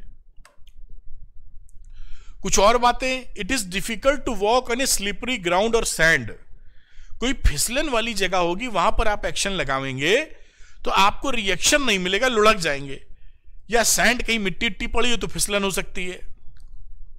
It is difficult to drive a nail into a wooden block without supporting it अगर आप किसी लकड़ी का फट्टा है और उसमें आप कील ठोकने की सोचें और इस फट्टे को पकड़े ना, ऐसे ही ज़मीन पे छोड़ दें तो जब हम मारेंगे ना मतलब हवा में समझ लीजिए मार रहे हैं तो ये घुसेगा ही नहीं कील इसके अंदर। इसको एक सपोर्ट चाहिए। ज़मीन पर रख देंगे जब आप और पकड़ लेंगे, मारेंगे, फट से कील घुस जाएगी। क्योंकि जब तक रिएक्शन अभी क्या हवा में ऐसे मारेंगे तो कहा रिएक्शन ही नहीं मिलेगा? और रिएक्शन नहीं मिलेगा तो कील अंदर जाएगी नहीं। तो while swimming a person pushes water with his hands in the backward direction जब तैरते हैं तो वो पानी को पीछे डायरेक्शन में ढकेला जाता है, जिससे हम आगे बढ़ पाए। एक्शन हो रहा है पानी पर, और पानी रिएक्शन कर रहा है हम पर, जिससे हम आगे बढ़ पाए। रिएक्शन का मतलब फोर्स के रूप में। एलर्जिक रिएक्शन नहीं। बात पकड़ में आई होगी आपको। आगे देखते हैं, हॉर्स एंड कार्ट प्रॉब्लम। तो आपने देखा होगा घोड़ा गाड़ी या टांगा तो टांगा में तो खैर सामान कभी कदार ढोते हैं। तो ये समझ लीजिए वो सामान ढोने वाला कार्ट वाली गाड़ी है, घोड़ा यहाँ पर है। अब घोड़ा में बना नहीं पाता, नहीं तो बना के दिखाता। तो इस, ये घोड़ा क्या करता है, अपने पैर से ना ये ये जो कि ज़मीन पर फोर्स लगाता है पैर से आगे बढ़ने के लिए, उसका रिएक्शन इधर मिलता है। अब ये जो रिएक्शन घोड़े पर मिला है, उसके दो कंपोनेंट ले लो। एक हॉरिजेंटल कंपोनेंट एक वर्टिकल कंपोनेंट इसे एच से लिखा, इसे वी से लिखा। अब ये एच वाला कंपोनेंट इस कार्ट को खींचने में आगे ले जाता है। मान लीजिए इस कार्ट पर फ्रिक्शन फोर्स पीछे लग रहा है। फ्रिक्शन फोर्स भी इस इस इस चैप्टर में पढ़ेंगे। जिस डायरेक्शन में मोशन हो रहा होता है, उसकी अपोजिट डायरेक्शन में काइनेटिक फ्रिक्शन लगता है। तो ये जो फ्रिक्शन है, ये पीछे लगेगा। तो ये जो फोर्स है एच उसमें से एफ़ कर देंगे तो ये नेट फोर्स हो गया, जो आगे बढ़ाने काम आएगा। और ये जो फोर्स वर्टिकल वाला है, ये इसके वेट को संभालने के काम आता है। बैलेंस कर देता है वेट को। तो वर्टिकल मोशन नहीं होता हॉर्जेंटल मोशन होता वर्टिकल दोनों वी और डब्ल्यू बराबर है। अब F is equal to M A लगाने अगर आप जाएँगे तो force force is equal to mass into acceleration तो फोर्स हो गया H minus F total force of the system total mass कितना है? घोड़े का और स्कार्ट का। तो एम प्लस एम और ये रहा एक्सलेशन तो यहाँ से अगर आप ए निकालोगे तो ये वैल्यू आ जाएगी। A is equal to H minus F upon M plus M बस कितना सरल है। पूरे सिस्टम पे हमने न्यूटन का अप्लाई कर दिया। सेकेंड लॉ ये कहानी हो गई। और थर्ड लॉ की कहानी जो हम पढ़ रहे थे, वो थर्ड लॉ में क्या था? घोड़े ने ज़मीन को एक्शन किया और रिएक्शन मिला आगे बढ़ने के लिए। ये न्यूटन का तीसरा नियम था। आगे की चर्चा करते हैं। Second law is the real law of motion ये मैंने आपको पहले भी बताया था कि second law real law of motion है, उससे पहला लॉ निकाला जा सकता है और तीसरा लॉ भी निकाला जा सकता है। तो इस लॉ को आप पकड़ के रखिएगा, ये this is the real law of motion है। Is equal to M A होता है ए ज़ीरो तो एफ़ आपका ज़ीरो होगा, ये पहला लॉ है, तीसरा इसी तरीके से निकल सकता है एक्शन रिएक्शन वाली बात। ठीक है, आगे समझते हैं। अब ये लिफ्ट वाली प्रॉब्लम रहती है, आप सवाल आपके सामने आ जाते हैं, उसको भी जल्दी से समझ लेते हैं। Apparent weight of a man in an elevator और लिफ्ट आपने देखा होगा कि जब आप लिफ्ट में, बचपन में मैं बहुत डरता था लिफ्ट में, क्योंकि जब मैं उस पर खड़ा होता था और लिफ्ट ऊपर जाती थी तो मुझे लगता था मेरे शरीर में कुछ हो रहा है, बहुत घबराहट होती थी। तो एक्चुअल वो जो हो रहा होता है, वो आपको अपना वेट ज़्यादा लग रहा होता है। इसलिए जब लिफ्ट ऊपर जाती है ना, और आप अंदर खड़े होते हैं तो आपको भारीपन महसूस होता है। किसी आदमी को अपना वज़न रिएक्शन से पता चलता है, वरना वो पता नहीं कर पाएगा अपना वज़न। जैसे आप हिमालय किसी ऊँची बिल्डिंग से कूद जाएँ तो उस समय आपको रिएक्शन नहीं तो आपको कैसे लगेगा? आप में वेट ही नहीं है। अगर एयर भी हटा दें वहाँ से तो एकदम आप लगेगा वेटलेस है आप। जब गिरेंगे, तब गिरेंगे, बात अलग है। बात समझ में आ रही है? तो जब रिएक्शन से हम पता करते हैं हमारा वज़न कितना है तो रिएक्शन अगर ज़्यादा है तो ज़्यादा वजनी लगने लगेंगे। रिएक्शन कम है तो कम वजनी लगने लगेंगे।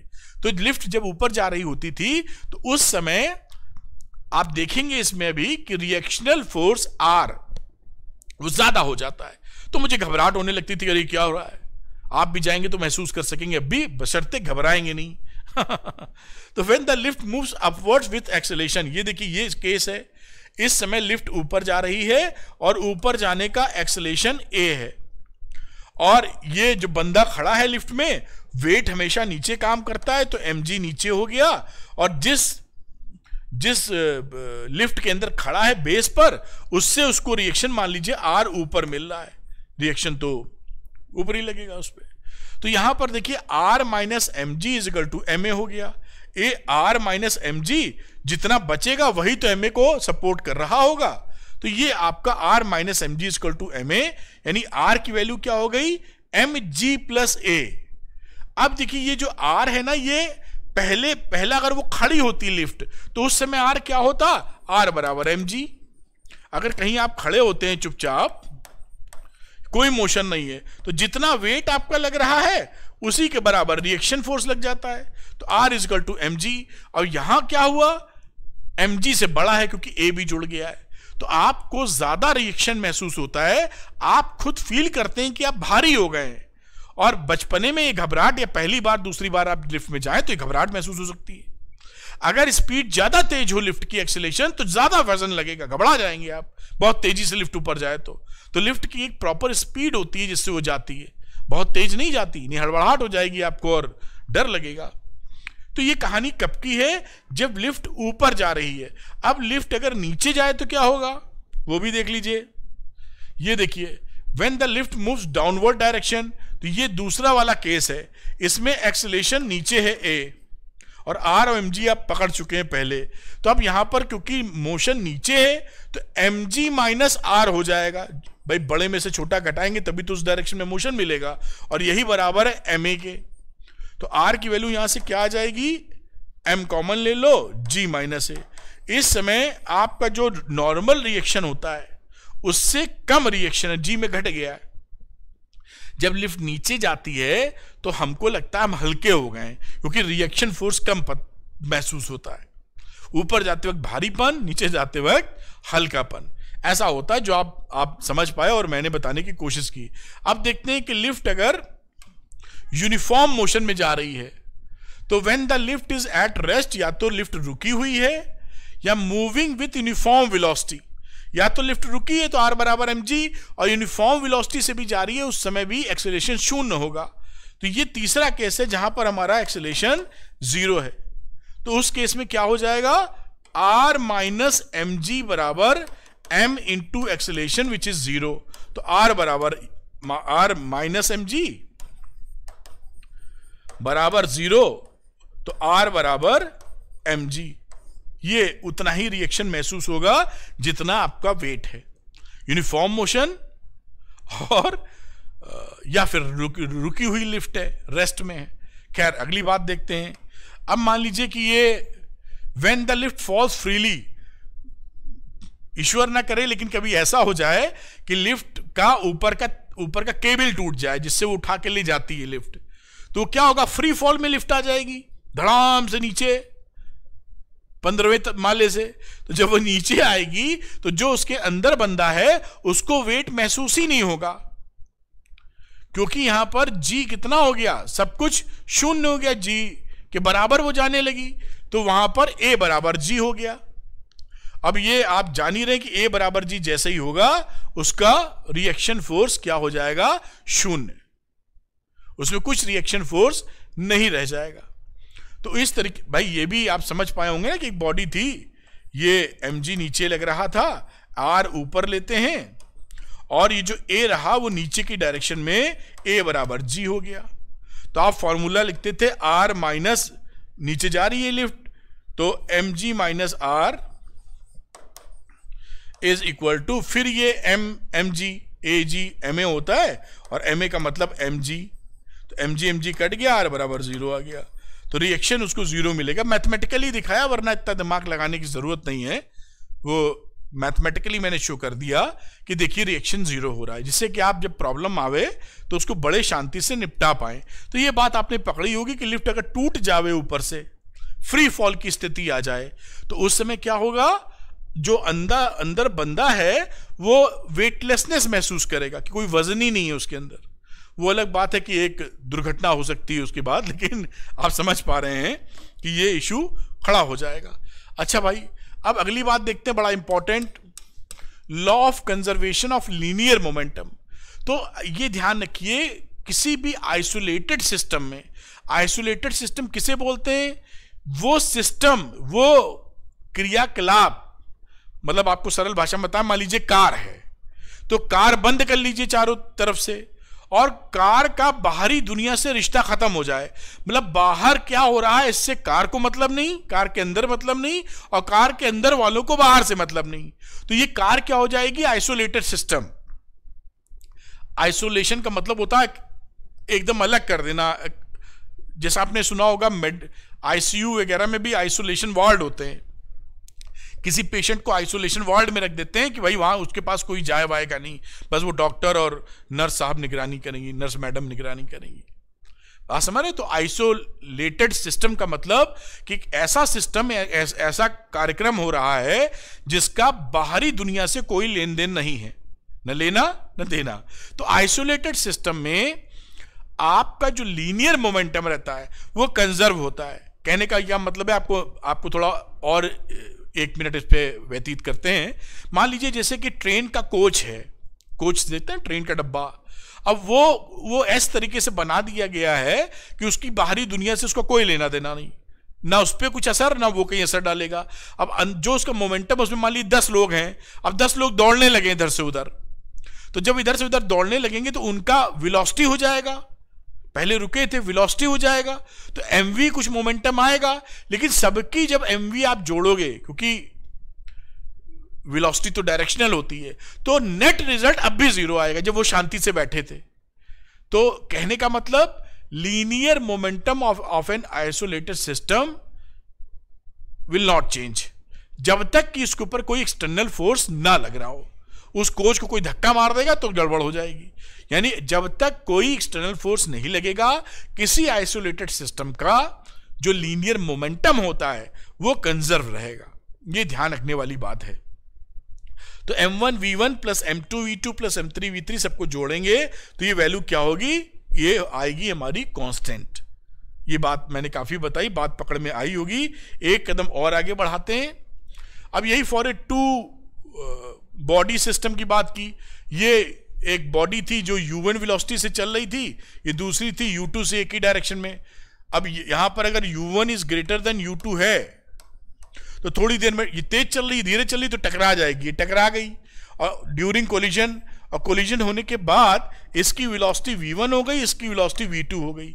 और इस, इन दोनों का जो खेल चला है, इससे बाहरी दुनिया को मतलब नहीं, और और इसका असर ना बाहर है, ना बाहर का असर इसके अंदर है। ये दोनों लोग आपस में लड़ मरे। तो उस सिचुएशन में इनिशियल मोमेंटम जो कि था M one U one plus M two V two system का पूरे। तो पहले का जो मोमेंटम था एम वन यू वन इसका प्लस इसका, इसको जोड़ा हमने। और ये फाइनल मोमेंटम के बराबर रहेगा। M one V one plus M two V two तो इससे दिखता है पहले का मोमेंटम बाद वाले मोमेंटम के बराबर है। अगर ये एक आइसोलेटेड सिस्टम है तो यानी कोई एक्सटर्नल फोर्स जब तक नहीं लग रहा है, कोई तीसरा खिलाड़ी भी आ जाएगा तो एक अलग बात हो जाएगी। खैर, इसी तरह ये आपने पढ़ा होगा नाइन्थ क्लास में भी जब किसी बंदूक से गोली दागते हैं। तो प्रैक्टिकल एप्लीकेशन है जो रिकॉयल ऑफ़ ए गन जब आप बंदूक से गोली चलाते हैं तो बंदूक झटका मारती है। क्योंकि बंदूक और बंदूक के अंदर गोली वो एक उसका आइसोलेटेड सिस्टम है। जब गोली निकलती है तो तेज़ी से गोली निकली, उसका कुछ मोमेंटम में चेंज हुआ। पहले रुकी, फंसी थी, बंदूक के अंदर रुकी थी। तो जो मोमेंटम में चेंज हुआ, वो ये जो पकड़ रखे हैं बंदूक, उसमें भी मोमेंटम उल्टी डायरेक्शन में हो ये तभी तो दोनों ज़ीरो आएँगे। क्योंकि ये तो वेक्टर क्वांटिटी है डायरेक्शन मतलब है, ये इधर भागा तो इसको इधर भागना पड़ेगा। मास ज़्यादा, इसलिए कम भागेगा। मास कम है इसलिए गोली बहुत तेज गई। तो पीछे झटका खाता है बंदूक। और अगर हम तरीके से उसको नहीं पकड़ेंगे तो हमारे हाथ में चोट लग जाएगी। मतलब गोली चलाएँ क्यों? लेकिन मुद्दे की बात यह है। खैर अगली बात देखते हैं कि while firing a bullet the gun should be held tight to the shoulder अब आप समझ गए होंगे कि बंदूक चलाते वक्त आपको मजबूती से गन को पकड़ना पड़ेगा वरना झटका लगेगा और कंधे या कलाई में मोच आ सकती है टूट सकती है। When a man jumps out of a boat to the shore, the boat slightly moves away from the shore. आपने देखा होगा एक जो नाव नाव रहती हैं, मैं बचपन में काफ़ी देखा हूँ, किया भी हूँ, बदमाशी तो वो जो नाव रहती है, वो किनारे पर जब रहती है, जब आप उतरते हैं उस पर तो नाव पीछे खिसकती है। वो कहानी वही चली आ रही है। कंजर्वेशन ऑफ़ मोमेंटम आपका कुछ बदला, आप जब उसके अंदर बैठे थे तो उस सिस्टम का मोमेंटम किनारे पर शून्य था। आप आगे बढ़ गए कुछ मोमेंटम लेके तो नाव को पीछे खिसकना ही पड़ेगा। मास ज़्यादा है नाव का इसलिए कम खिसकेगी। आपका मास कम है एम इंटू वी होता है ना, आपका मास कम है तो वेलोसिटी ज़्यादा पकड़ी आपने। लेकिन दोनों का इफ़ेक्ट ज़ीरो आएगा। और कोई एस्ट्रोनॉट किसी ओपन स्पेस में अपने जेट में जाता है तो उल्टी दिशा में कोई सामान फेंकता है, जिससे उसको वापस स्पेस जेट में जाने में मदद मिल सके। अब यही कुछ बातें, और इसी की बात समझें अगर तो rocket and jet planes works on the principle of conservation of momentum rocket और जेट प्लेन भी होती हैं जो वो इसी कंजर्वेशन मोमेंटम पे काम करती है, जो फ्यूल निकालती हैं, उसी का जो मोमेंटम लगता है, वो उनको आगे विपरीत दिशा में ले जाता है। एक्सप्लोजन ऑफ़ ए बम, देखिए एक बम है, रखा हुआ बम समझ लीजिए, और ये दग जाता है, और इसके मान लीजिए पाँच टुकड़े हो जाते हैं, होने को तो पचास हो सकते हैं, पाँच टुकड़े हो जाते तो इस समय इस बम जब ये ठंडा पड़ा था मतलब रखा हुआ था रेस्ट पर तो मोमेंटम कितना था? शून्य। क्योंकि एम इंटू वी करोगे तो इस समय तो वी ज़ीरो है रेस्ट पर है तो इसका जो इनिशियल मोमेंटम है, वो ज़ीरो है। अब ये टूट गया पाँच पाँच टुकड़ों में, कोई टुकड़ा इधर भागा, कोई टुकड़ा उधर भागा, कोई टुकड़ा उधर भागा। लेकिन जब इन सबका मोमेंटम जोड़ोगे, जैसे इधर जोड़ा है विलोस्टी की डायरेक्शन से जोड़ोगे तो ये देखो पॉलीगन बना दिया। मतलब इसका भी रिजल्टेंट शून्य आएगा। जब पॉलीगन क्लोज बनता है वेक्टर आप पढ़ चुके हैं तो उस समय क्या देखते हैं कि इसका रिजल्टेंट शून्य है। यानी इसका जो मोमेंटम आएगा, जब आप जोड़ोगे तो इसका मोमेंटम भी ज़ीरो आएगा, क्योंकि इनिशियल ज़ीरो था, इसलिए ये भी ज़ीरो बना रहेगा, जब तक बाहर से फोर्स ना लगे। एक्सप्लोजन अंदरूनी फोर्स है। इंटरनल फोर्सेस से कुछ नहीं उखड़ेगा। एक्सटर्नल लग जाएगा तो कहानी अलग हो जाएगी। बम दगा है तो इंटरनल फोर्स की वजह से दगा है। इस वजह से ये मोमेंटम और ये मोमेंटम दोनों का मोमेंटम कंजर्व होगा। ज़ीरो अगर पहले था मोमेंटम तो पाँचों टुकड़ों का जोड़ मारेंगे तो भी शून्य ही निकलेगा। एक न्यूमेरिकल आता है, इस न्यूमेरिकल को करते हैं बेटा, फिर देखते हैं आगे। लिखा है thirty kilogram shell is flying at 48 metre per second when it explores in explore जब ये फट जाता है its one part of eight kilogram stops. इसका 18 किलोग्राम का एक पार्ट रुक जाता है। While the remaining part flies on find the velocity of the latter part देखिए, ये कोई था शेल 30 किलोग्राम इसका मास था। अब यहाँ पर ये मेरे ख्याल से यही दगा दो, ये मूव ना कराओ। यहाँ पे दग गया तो एक पार्ट तो रुका रह गया मतलब इधर बना रहे फ़ोटो जिसकी जो 18 केजी का था, वो स्टॉप कर गया। और दूसरा वाला पार्ट सेकेंड पार्ट जो कि मास में तो चेंज आएगा नहीं, ये 12 किलो का। इसकी विलोसिटी हमको निकालनी है। इसकी विलोसिटी क्या है? V1 कह देते हैं ज़ीरो है। हमें v2 निकालनी है। मास तो आपको दिख ही रहा है। इनिशियल वेलोसिटी इसकी कितनी थी? शून्य। कंजर्वेशन ऑफ़ मोमेंटम इसका मोमेंटम बराबर इन दोनों का जोड़ के मोमेंटम बात खत्म हो जाएगी। यानी अगर मैं इस, इसको कैपिटल एम बोलूँ और इसको एम वन और एम टू बोल दूँ तो मैं क्या लिख सकता हूँ भाई? M into U initial momentum final दोनों का जोड़ के तो M1 V1 plus M2 V2 अब इनिशियल मोमेंटम कितना था? इनिशियल मोमेंटम में अच्छा ये वेलोसिटी थी इसकी तो U था 48 48 मीटर पर सेकेंड ज़ीरो नहीं थी, इतने से ये मूवमेंट कर रहा था। तो यहाँ पर मास था 30 किलोग्राम वेलोसिटी 48 है, दूसरा था 18 किलोग्राम लेकिन इसकी वेलोसिटी ज़ीरो थी, अगले वाला का था 12 किलोग्राम इंटू वी टू तो वी टू की वैल्यू कितनी आ जाएगी? 30 इंटू अड़तालीस अपॉन 12 12 चौक अड़तालीस यानी 120 मीटर पर सेकेंड। ये आपका रहा आंसर। कंजर्वेशन ऑफ़ ये क्या लगाया हमने? Conservation conservation of momentum. तो ये बड़े आसानी से कर सकते हैं ये सब सवाल। जैसा मैं बता भी रहा हूँ, मैं भी स्लाइड साइड में हट जाता हूँ। इसका स्क्रीनशॉट ले लें आप, या इसको पॉज करके नोट कर लें, जो भी सुविधाजनक हो। तो ये मैं हट गया, इसको आप बेटा जी नोट कर लीजिए, और अगली बात देखते हैं, कहानी क्या है। तो ये नोट कर चुके होंगे, आगे बढ़ते हैं कदम। अब देखिए, अब है equilibrium of a concurrent forces तो पहली बात तो ये जान लेते हैं कि ये कॉन्ग्रेंट साहब होते क्या हैं। कई बच्चे तो इसी में कंफ्यूज हो जाएँगे। कि what is the meaning of concurrent तो मैंने ये समझते हुए यहाँ पे मेंशन कर दिया है।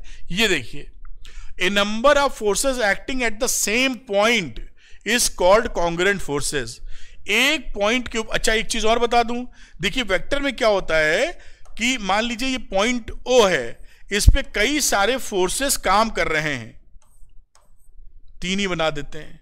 तो हम लोग जो वेक्टर बनाते हैं ना वहाँ पे फोर्सेस को दिखाने का तरीका होता है, वहाँ पे टेल बनाते हैं। यानी जो तीन फोर्सेस है ना, अगर देखिए ये पॉइंट ओ है एफ़ वन इधर है तो मैं इसको एफ़ वन इधर बनाऊँगा।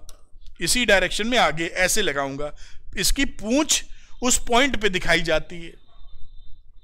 एफ़ टू इधर है, देखिए तो एफ़ टू इधर लग गया। और एफ़ थ्री ऊपर जा रहा है कुछ आसपास तो ऐसे मैंने इसको हटाओ। कैसे हटेगा? ये आपका F3 बन गया। बात समझे नहीं, किसी पॉइंट पर अगर फोर्स लगाना है तो उस पॉइंट पर हम पूछ लगाते हैं वेक्टर की, जिसे टेल बोलते हैं आप, है ना? इनिशियल पॉइंट बोलते हैं और वेक्टर की भाषा यूज़ करेंगे तो। और इस तरह से वेक्टर दिखाते हैं, इस तरह नहीं दिखाते। देखिए, यहाँ कहीं भी बना बना भी होगा तो गलत होगा, नहीं बना यहाँ पर। तो यहाँ पर तीन फोर्सेस लगे, एक इधर देखिए भाग रहा है, एक इधर एक इधर, ऐसे नहीं बनाते हम लोग फिगर तो बात पकड़ में आई होगी। तो कॉन्ग्रेंट फोर्सेस क्या हुए? वो फोर्सेस दो, चार, छह, दस जो भी हैं, एक ही पॉइंट पे लग रहे हैं। तो उनको बोलेंगे कॉन्ग्रेंट फोर्सेस और a number of concurrent forces are said to be in equilibrium if their resultant is zero सीधी सी बात है, ये इक्विलिब्रियम में तब होगा जब इसका रिजल्टेंट कुछ भी ना आवे। मतलब शून्य ना आवे। तो हम समझ जाएँगे इसका रिजल्टेंट है शून्य। कोई मोशन फोशन नहीं होना इसके अंदर। तो ये वेक्टोरली आप जब जोड़ेंगे, देखिए एन तक तो एक नल वेक्टर आ गया है और ज़ीरो हो गया है इसमें। अच्छा इसमें एक बड़ी मज़ेदार थ्योरम है लामीज थ्योरम वो भी देख लेते हैं काहे को। वो क्या बोलती है लामीज थ्योरम देखिए?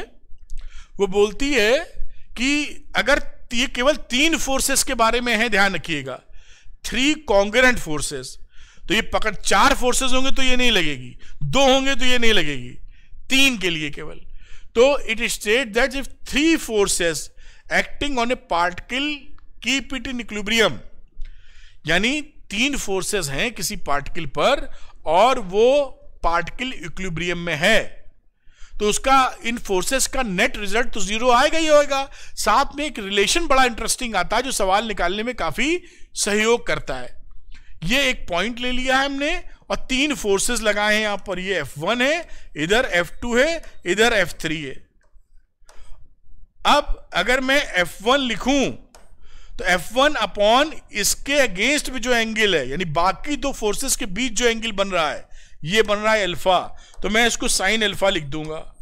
इसका रेशियो बराबर होता है F2 टू अपॉन एफ़ ये फोर्स है इसके विपरीत, यानी F1 F3 में बनने वाला एंगल जो कि बीटा है, इसको साइन बीटा लिख दूँगा। और यही चीज़ इक्वलेंट होगी F3 F3 का फोर्स इधर है, इसके अपोजिट यानी बाकी F1 F2 से बनने वाला एंगल गामा साइन गामा ये रिलेशन होल्ड्स ट्रू और इस रिलेशन की मदद से हमारी कई चीज़ें आसान हो जाती हैं। इसी को बोलते हैं लामीज थ्योरम तो लामीज थ्योरम क्या है? जब तीन फोर्सेस एक ही पार्टिकल पर लगे और वो इक्विलिब्रियम में हो तो ये relationship holds true this is known as a Lami's theorem हमारे लिए काफ़ी काम की हो सकती है, लेकिन लगेगी कब? जब तीन फोर्सेस हो और इक्विलिब्रियम स्टैब्लिश हो।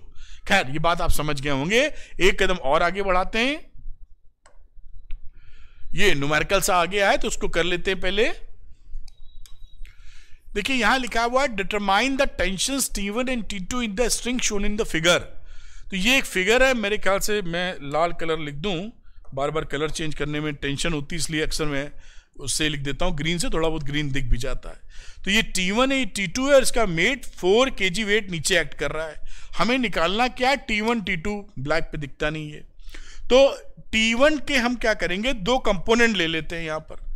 तो मैं इस टी वन ये लग रहा है force tension in the string इसके दो कंपोनेंट लिए, एक कंपोनेंट इधर और एक कंपोनेंट वर्टिकली इधर. अब इस टी वन का ये 60 डिग्री है तो ये भी 60 डिग्री हो जाएगा. तो ये वैल्यू हो जाएगी T one cos sixty degree और ये कितना हो जाएगा? T one sine sixty degree ये कंपोनेंट टी टू इधर है वेट इधर है. अब वापस हम लोग ग्रीन बटन में आ जाते हैं. अब हम इक्विब्रियम स्टैब्लिश करते हैं T one sine sixty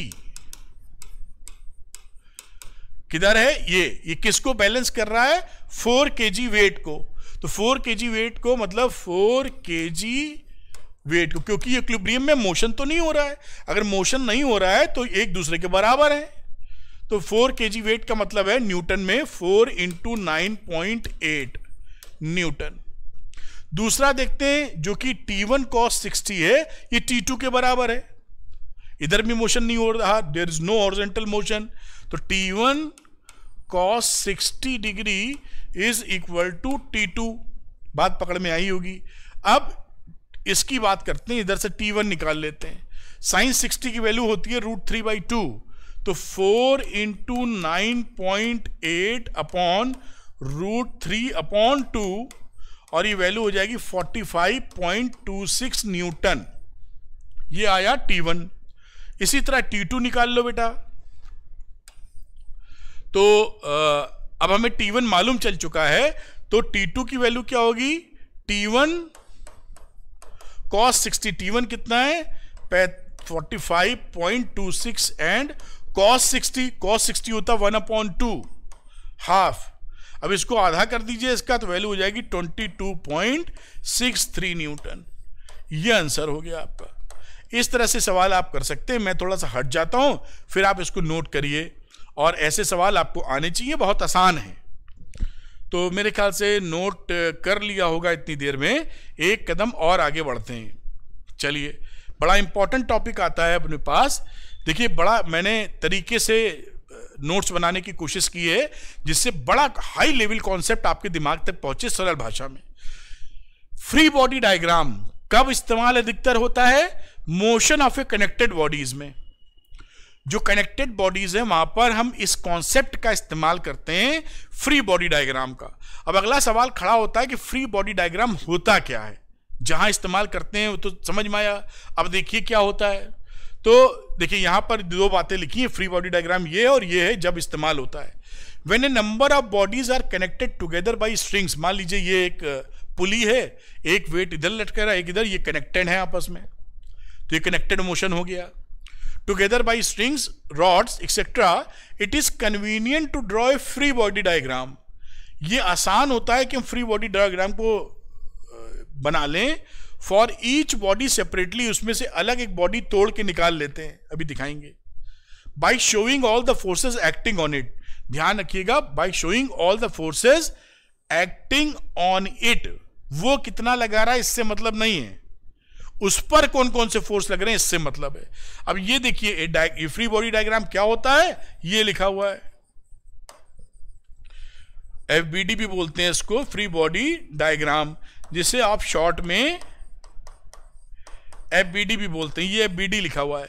A diagram for each body of the system showing all the forces exerted on the body by the remaining parts of the system called free body diagram जैसे मैं इस system में इसको काट के अलग ले लूँ फ्री कर दूँ इस सिस्टम से तो यहाँ मैंने ये एक बनाया, इसका बॉडी जो थी, इस पे लगने वाले फोर्सेस तो इस पे लगने वाला कौन था? इसका इसका वेट एम और ऊपर लग रहा है टेंशन टी और उसके बाद जो घटना, जैसे कि ये बॉडी क्या है?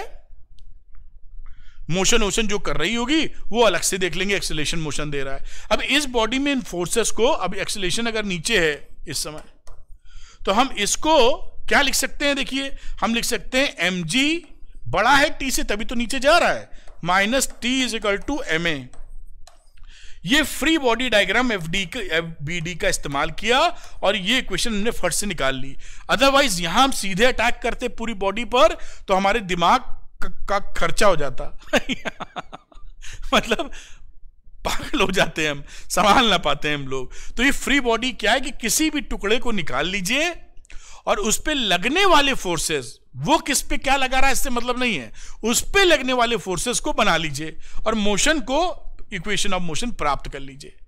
तो ये मैंने आगे बताया भी है कि फ्री बॉडी डायग्राम को कैसे यूज़ करते हैं। लेकिन मैंने यही समझा दिया आपको, जिससे बात आप पकड़ पाए। आगे मैंने इसी बात को आपके लिए नोट्स के तौर पे भी देने की कोशिश की है कि देखिए tips for solving problem in mechanics जो मैकेनिक्स पढ़ रहे हो, इसमें प्रॉब्लम या न्यूमेरिकल कैसे सॉल्व करते हैं, क्या कॉन्सेप्ट लगाते हैं, उसकी चर्चा तो to solve a typical problem in mechanics we use the following steps draw a diagram showing various parts of the system with link support etcetera पहले आप डायग्राम शो कर लीजिए, जो कुछ तामझाम है सबके साथ। फिर क्या है? Choose any one convenient part of the system किसी कन्वीनियंट पार्ट को पकड़िए, जो आसानी से दिखाई पड़ रहा है आपको। Draw a separate diagram of the chosen part showing all the forces on the chosen part by the remaining parts of the system उस पार्ट पर जो जो फोर्सेस बाकी सिस्टम लगा रहा है, वो सारे मेंशन कर दीजिए ड्रॉ कर दीजिए। And also by other agencies a diagram of this type is called a free body diagram मैंने भी आपको समझाया एफ़ तो फ्री बॉडी डायग्राम बना लीजिए। अब in free body diagram include information about magnitude and direction of forces that are either given or you are sure of या तो आपको पता है या आप जानते हैं कि लगने वाला है। The rest should be treated as unknown और बाकी सब कुछ अननोन की तरह ट्रीट कीजिए और लगा दीजिए। Equate the net force acting in a particular direction to its mass times the acceleration produces in that direction total को जैसे मैंने यहाँ पर देखिए, यहाँ पर क्या किया था? ये क्वेश्चन बना के एम के बराबर कर दी थी। यही वो चौथे नंबर का स्टेप है कि मास को एक्सेलेशन के बराबर रख दीजिए, बाकी फोर्सेस मेंशन कर दीजिए। तो इससे आपको कनेक्टिविटी या कैसे करते हैं, इसका अंदाज़ा भी मिल जाएगा। ये पॉइंट हो गया, अगला पॉइंट इसका पाँचवें नंबर का पॉइंट भी देख लेते हैं। ये देखिए तो if necessary we can follow the same procedure for any other part भाई, अगर कोई दो अननोन है तो दो इक्वेशन चाहिए तो एफ़ कम से कम दो का होना चाहिए हमारे पास। The equations of motions obtained for different parts of the system can be solved to obtain the desired results. तो ये एफ़ बी डी मैंने बताने की कोशिश की कि आप इसको पकड़ पाए और बड़ी सरलता से सवाल निकलते हैं और नि, नि, निकाले भी इसी से जाते हैं। एक इंपॉर्टेंट नोट ज़रूर ध्यान रखिए कि इनर्शियल फ्रेम ऑफ़ रेफरेंस में वो क्या होते हैं? Frame of reference which is either at rest or moving with constant velocity कोई भी फ्रेम ऑफ़ रेफरेंस है, या तो वो रुका हुआ हो। जैसे ज़मीन पे खड़े तो ज़मीन को मानते हैं रेस्ट पर है। एब्सोलूट रेस्ट तो नहीं है, लेकिन रेस्ट पर है। ये मैं पिछले वाले चैप्टरों में समझा चुका हूँ आपको। तो उस समय रेस्ट पर हो, या आप किसी, मान लीजिए स्कूटर पे सवार हैं बाइक पर तो उसकी वेलोसिटी सेम बनी हुई है। 40 मीटर पर सेकंड से चल रहे हैं सीधी रेखा में तो 40 मीटर पर सेकंड से सीधी रेखा में चलें। उस अवस्था को हम बोलते हैं इनर्शियल फ्रेम ऑफ़ रेफरेंस ये बता चुके इसमें न्यूटन के नियम वैलिड होते हैं, ये नीचे लिखा हुआ है। लेकिन जो नॉन इनर्शियल फ्रेम होते हैं, जहाँ पर एक्सलेटेड मोशन हो रहा हो विच इज़ एक्सलेटेड फ्रेम यानी आप ऐसी चीज़ पे सवार है मोटरसाइकिल पर, जो मोटरसाइकिल स्पीड में है एक्सलेट हो रही है स्पीड बढ़ती जा रही है उसकी, उस समय न्यूटन के नियम वहाँ पर नहीं लगते। न्यूटन्स लॉ वैलिड नहीं होते in non inertial frame of reference valid है इनर्शियल फ्रेम ऑफ़ रेफरेंस में। ये देखिए, लिख भी दिया, Newton's law of motion are valid in inertial frame of reference only non inertial में ये वैलिड नहीं होते। जिससे कंफ्यूजन एक रत्ती का न रह जाए। एक कदम और आगे बढ़ाते हैं जो कनेक्टेड मोशन का है, जो मैंने आपको बताने की कोशिश की थी कैसे इसको यूज़ करते हैं। तो फ्री बॉडी डायग्राम जो मैंने अभी आपको बताया था, इसको काट के निकाल लिया, सोचा और आपको जिसे सिखाया था, इधर इसका वेट लग रहा है एम इधर था टेंशन टी लिखा है तो टी और एक्सलेशन इसका ए नीचे था। तो इसकी इक्वेशन बना दी। मैं आपको दिखाया था ना एम जी कैपिटल एम है तो कैपिटल एम लिख देना। तो M G minus T is equal to M A बात पकड़ में आई। इसका बनाओगे देखिए। सेकंड वाले का तो ये बॉडी आपने ऐसे बनाई। इसको कैपिटल एम लिखो क्योंकि ये कैपिटल है। आप बनना। ये ये छोटा एम है तो मास तो नीचे ही लगेगा भाई। और टेंशन ऊपर लग रहा है टी और एक्सलेशन ऊपर है। तो अब टी बड़ा हो गया एमजी से, तभी तो ऊपर जा रहा है। तो T minus M G is equal to M A और दो इक्वेशन है और दो अननोन है ए और टी दोनों को सॉल्व कर लीजिए ए निकाल लीजिए टी निकाल लीजिए, बात खत्म। तो ये कॉन्सेप्ट इसे क्या बोलते हैं? कौन सा कॉन्सेप्ट यूज़ किया है? फ्री बॉडी डायग्राम इसको काट के निकाला और क्या करते हैं? जो इस पे लगने वाले फोर्सेस है मेंशन कर दीजिए और जो गिवन चीज़ें एक्सलेशन वगैरह, वो लगा दीजिए। इसी तरह इसको काट के निकाल के दिए और दोनों को सॉल्व करके पूरे सिस्टम का हिसाब किताब आपने बना दिया। कितना एक्सलेशन से ऊपर जा रहा है, कितना टेंशन स्ट्रिंग के अंदर है। अगर एक स्ट्रिंग जो जो स्ट्रिंग होती है मासलेस स्ट्रिंग जो होती है, और एक ही कहीं गांठ नहीं पड़ी तो उसमें टेंशन सेम होता है। तो जो टी यहाँ लग रहा होगा, वही टी यहाँ लगेगा। और टेंशन लगता है कि है? जहाँ आप बांधते हैं, उसके अपोजिट डायरेक्शन में। यहाँ आपने बांधा है तो इसकी अपोजिट डायरेक्शन में टेंशन लगेगा। यहाँ की बात करें, आपको कंफ्यूज नहीं कर रहा हूँ जस्ट नॉलेज यहाँ बंधा या इससे रगड़ रहा है जैसे तो इसका टेंशन यहाँ ऐसे हो जाएगा। जिस जगह ये बंधा है या जिस जगह ये अटका हुआ है, उसकी विपरीत दिशा में टेंशन होता है। तो ये बात पकड़िएगा। एक यूनिफॉर्म स्ट्रिंग है मासलेस स्ट्रिंग है तो टेंशन सेम अगर वो मासलेस नहीं है मास है उसके अंदर तो हर जगह टेंशन अलग अलग आपको मासलेस ही मिलेगी वैसे। ठीक? और कहीं गांठ बाँध दी गई है तो गांठ के इस तरफ़ एक टेंशन दूसरी तरफ़ दूसरा टेंशन जानकारी के लिए जैसे आपको अंदाज़ा रहे, बाकी वो इतना सब ट्वेल्थ के एग्ज़ाम में कभी पूछा नहीं जाएगा। खैर, आप बात समझ पा रहे होंगे, मेरे ख्याल से छूट गई स्लाइड क्या? ये यही है। अच्छा अब अगली एक न्यूमेरिकल आता है, इसको करने का प्रयास करेंगे हम लोग। तो देखिए, ये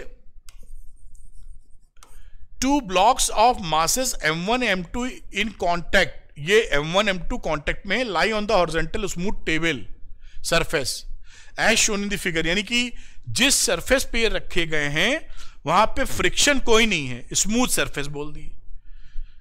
As shown in the figure the blocks are pushed by a force F यहाँ से एक फोर्स एफ़ इसको पुश किया गया है। If the two blocks are always in contact दोनों ब्लॉक हमेशा एक ही कॉन्टेक्ट में हैं। What is the force at their common interface इसके कॉमन इंटरफेस यानी यहाँ पर क्या फोर्सेस लग रहे हैं, ये हमें सीखना या बताना है। अब देखिए, इन दोनों को ये टच हैं आपस में तो इनका मैं फ्री बॉडी बनाने की कोशिश करूँ एफ़ तो पहले वाला अगर मैं अलग कर लूँ M1 बॉडी तो M1 पे फोर्स आप बाहर से एक लगा रहे थे, और इसके बीच में M1 ने M2 पे फोर्स लगाया था M2 ने M1 में एक्शन रिएक्शन। तो इस पे एक फोर्स मान लेते हैं एफ़ लग रहा है एक्शन एक्शन वाला। और दूसरी बॉडी जो एम टू थी, इस पे यही F इस दिशा में लग रहा है। थोड़ा दूर बनाना चाहिए था, दिख रहा है ना? एक्शन रिएक्शन इसने इस पे लगाया एफ़ इसने इस पे लगाया एफ़ ये घटना टोटल यहाँ पे घट रही है। अब अगर मैं इस एक्सेलेशन की बात करूँ कि भाई दोनों साथ ही एक्सेलेट हो रहे हैं ए से तो टोटल बॉडी के लिए एक्सेलेशन निकालू F is equal to M A तो A is equal to for a whole system total force F total mass M one plus M two बराबर है बात? ये सेकंड वाला सिस्टम पकड़ लो। तो सेकंड वाले सिस्टम में एफ़ फोर्स इधर लग रहा है फ्री बॉडी और एम इसी एक्सल दोनों चपकी चल रही तो एक्सलेशन सेम होगा। तो F is equal to M A लगा दो तो F is equal to M यानी एम टू इंटू ए दोनों का एक्सलेशन सेम है, क्योंकि दोनों हमेशा चपकी हुई हैं। अगर सटी सटी नहीं चलती तो हो सकता है एक आगे भाग जाती तो एक्सलेशन डिफरेंट हो जाता। अब एम टू लिखा और ए की जगह लिख दीजिए, ये F upon M one plus M two ये आपका इसके बीच में इंटरफेस वाला फोर्स निकल आया कि M1 M2 पे कितना लगा रहा है M2 M1 पर कितना लगा रहा है। ये स्मॉल f लगा रहा है। ये आंसर हो गया आपका। तो इसको नोट कर लीजिए, फिर अगला भी एक सवाल करेंगे इंटरेस्टिंग तो ये आपने नोट कर लिया नोट कर लिया होगा अब तक। और ऐसे सवाल मिले तो लॉजिकली कॉन्सेप्चुअली आपको समझ में आना चाहिए कि ये क्या कहानी क्या है। चलिए एक कदम और आगे चलते हैं। एक और न्यूमेरिकल इसको भी करने का प्रयास करते हैं। As shown in the figure three blocks connected together lie on the horizontal frictionless table ये तीन ब्लॉक्स हैं M1, M2, M3 और यहाँ पर देखिए एफ़ फोर से खींचा जा रहा है आगे लिखा होगा। And pull to the right with a force 50 newton. इस कैपिटल एफ़ की जो ये एफ़ है ये 50 न्यूटन है से खींच रहे हैं। If M one is equal to पाँच किलोग्राम एम टू दस किलोग्राम एम थ्री पाँच kilogram find the tension in the strings T one T two अब यहाँ देखिए, इससे बंधा है तो टी वन का डायरेक्शन इधर, इससे बंधा है तो इससे दूर की तरफ़। मैंने कहा था ना, जिधर बंधा हो, वो अवे तो यहाँ पर ये बंधा है तो ये अवे यहाँ पे इससे बंधा है तो ये अवे टी टू और ये इस तरीके से जो खींचने खींच लिया। टी वन टी टू निकालना है। फ्री बॉडी अच्छा पूरी, पूरे सिस्टम के लिए पहले लगा देते हैं force F is equal to M A for whole system for whole system तो F is equal to M F is equal to M one plus M two plus M three into A पूरे system के लिए लगा सकते हो। तो A कितना आएगा? F upon M one plus M two plus M three force था पचास न्यूटन और ये दस, बीस, तीस पाँच, दस, पंद्रह था।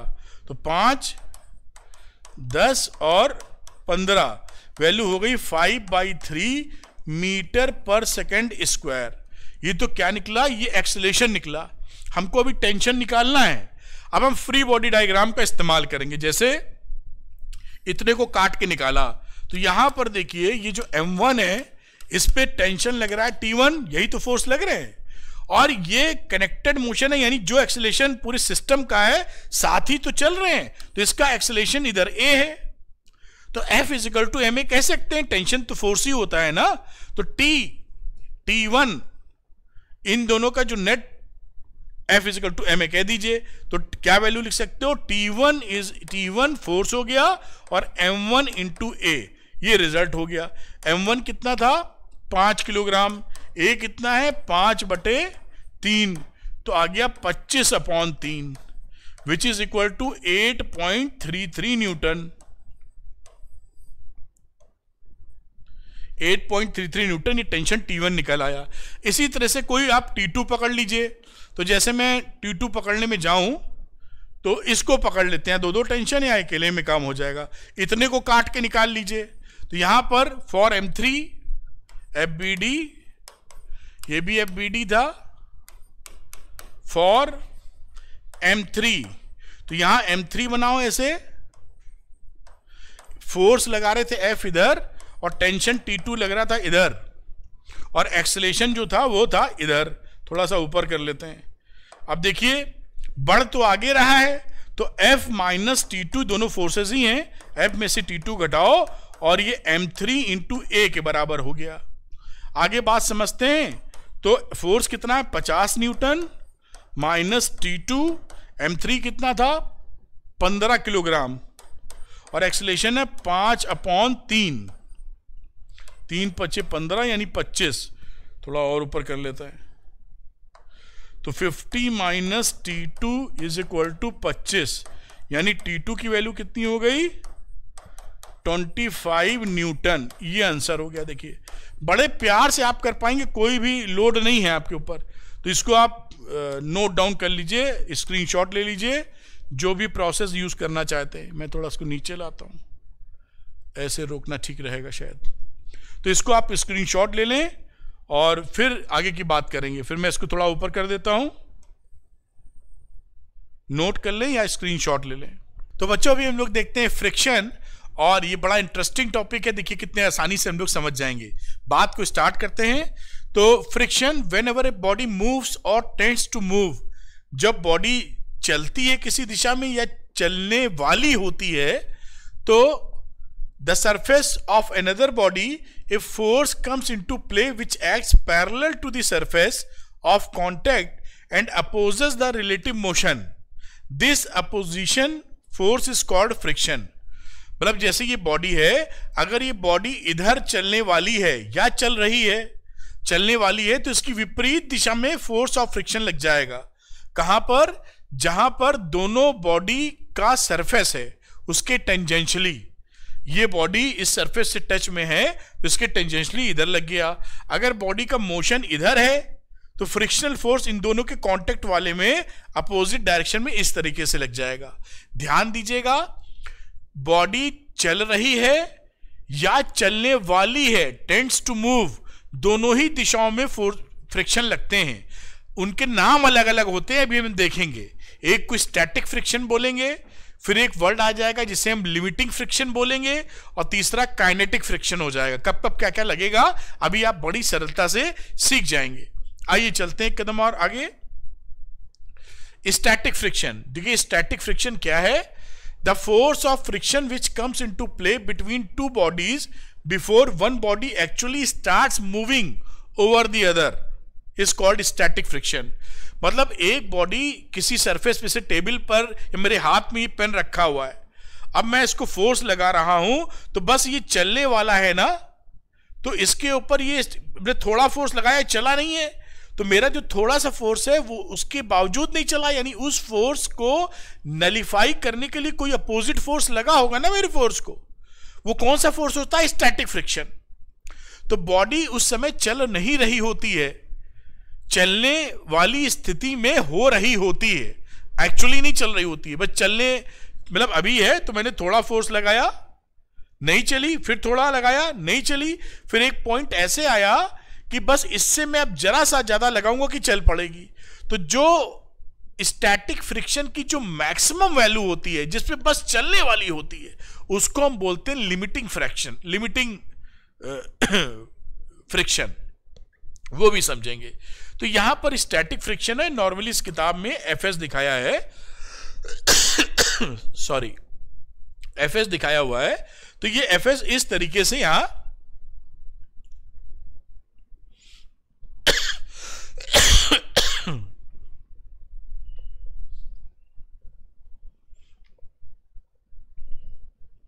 तो यहाँ पर इस बुक में ये एफएस दिखाया है स्टैटिक फ्रिक्शन को तो एफएस से लिखा है कि बॉडी पे फोर्स अगर इस तरफ़ लग रहा है, यानी इस तरफ़ मूव करने वाली है तो फ्रिक्शन अपोजिट और उस तरीके से ही फ्रिक्शन लगेगा। अब ये क्या होता है? लिमिटिंग फ्रिक्शन क्या है?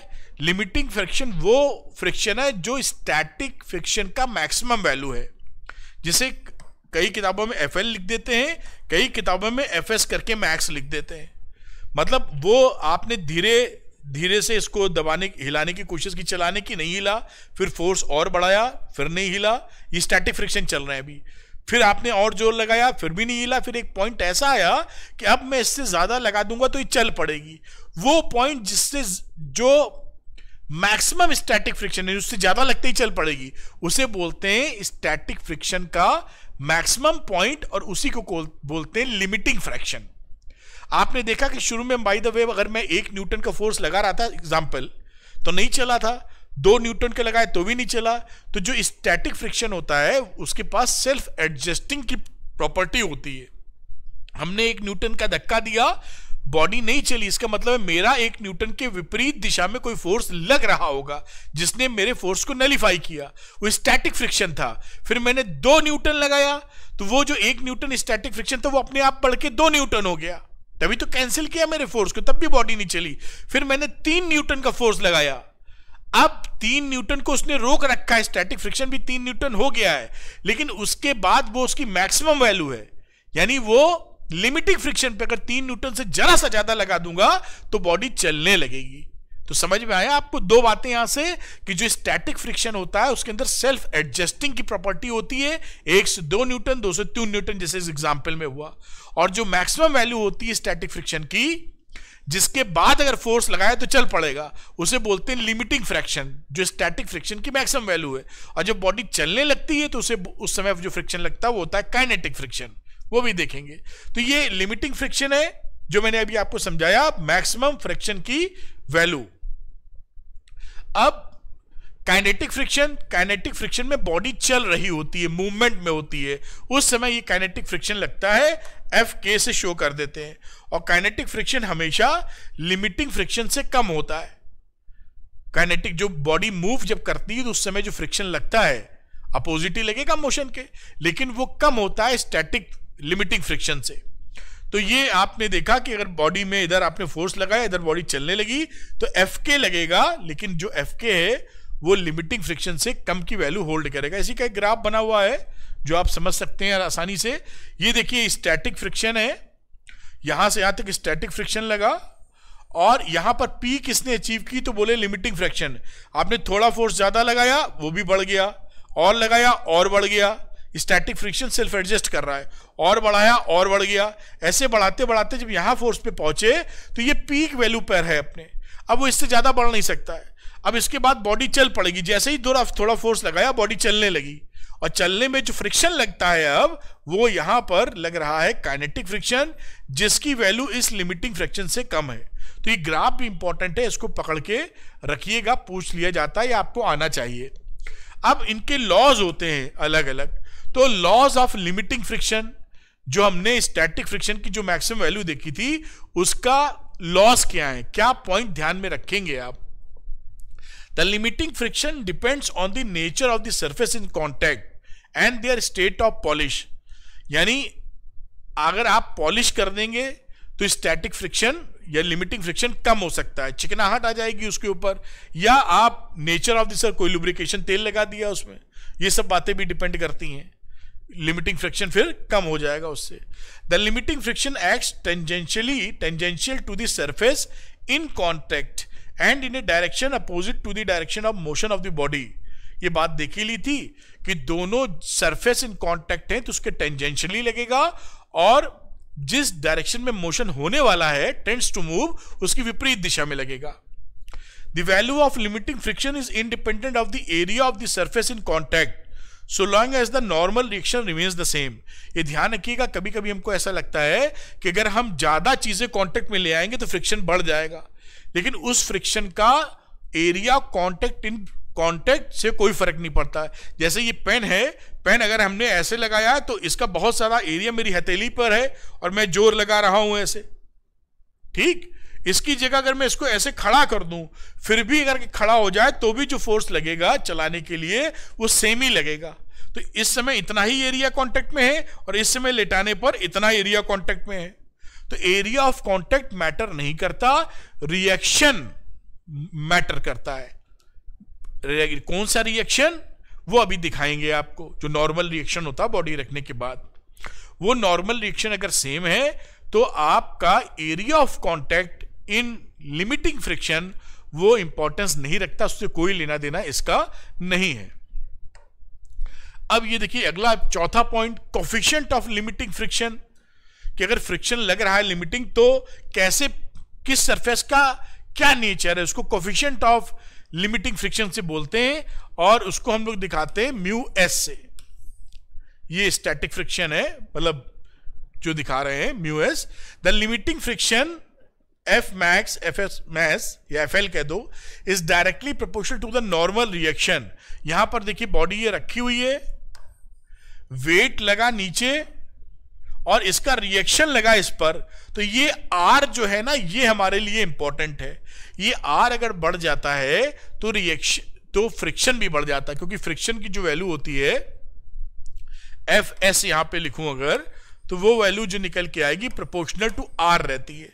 जितना बढ़ाओगे, उतना फ्रिक्शन बढ़ जाएगा। और इसी के बीच में प्रोपोर्शनलिटी कांस्टेंट भी आ जाता है, जिसे हम म्यू एस कहते हैं। इसी म्यू को खोलते हैं, बोलते क्या है? कोफिशियंट ऑफ़ स्टैटिक फ्रिक्शन ये दिस इज़ म्यू एस तो म्यू एस क्या हो गया? Limiting friction upon normal reaction ये हमारा होता है कोफिशियंट ऑफ़ स्टैटिक फ्रिक्शन और it is defined as the ratio of limiting friction and to the normal reaction तो ये इंपॉर्टेंट है, इसको पकड़ के रखिएगा, क्योंकि ये बताता है किसमें कितना फ्रिक्शन बढ़ेगा तो ज़्यादा फ्रिक्शन लगेगा, कम होगा तो कम फ्रिक्शन लगेगा।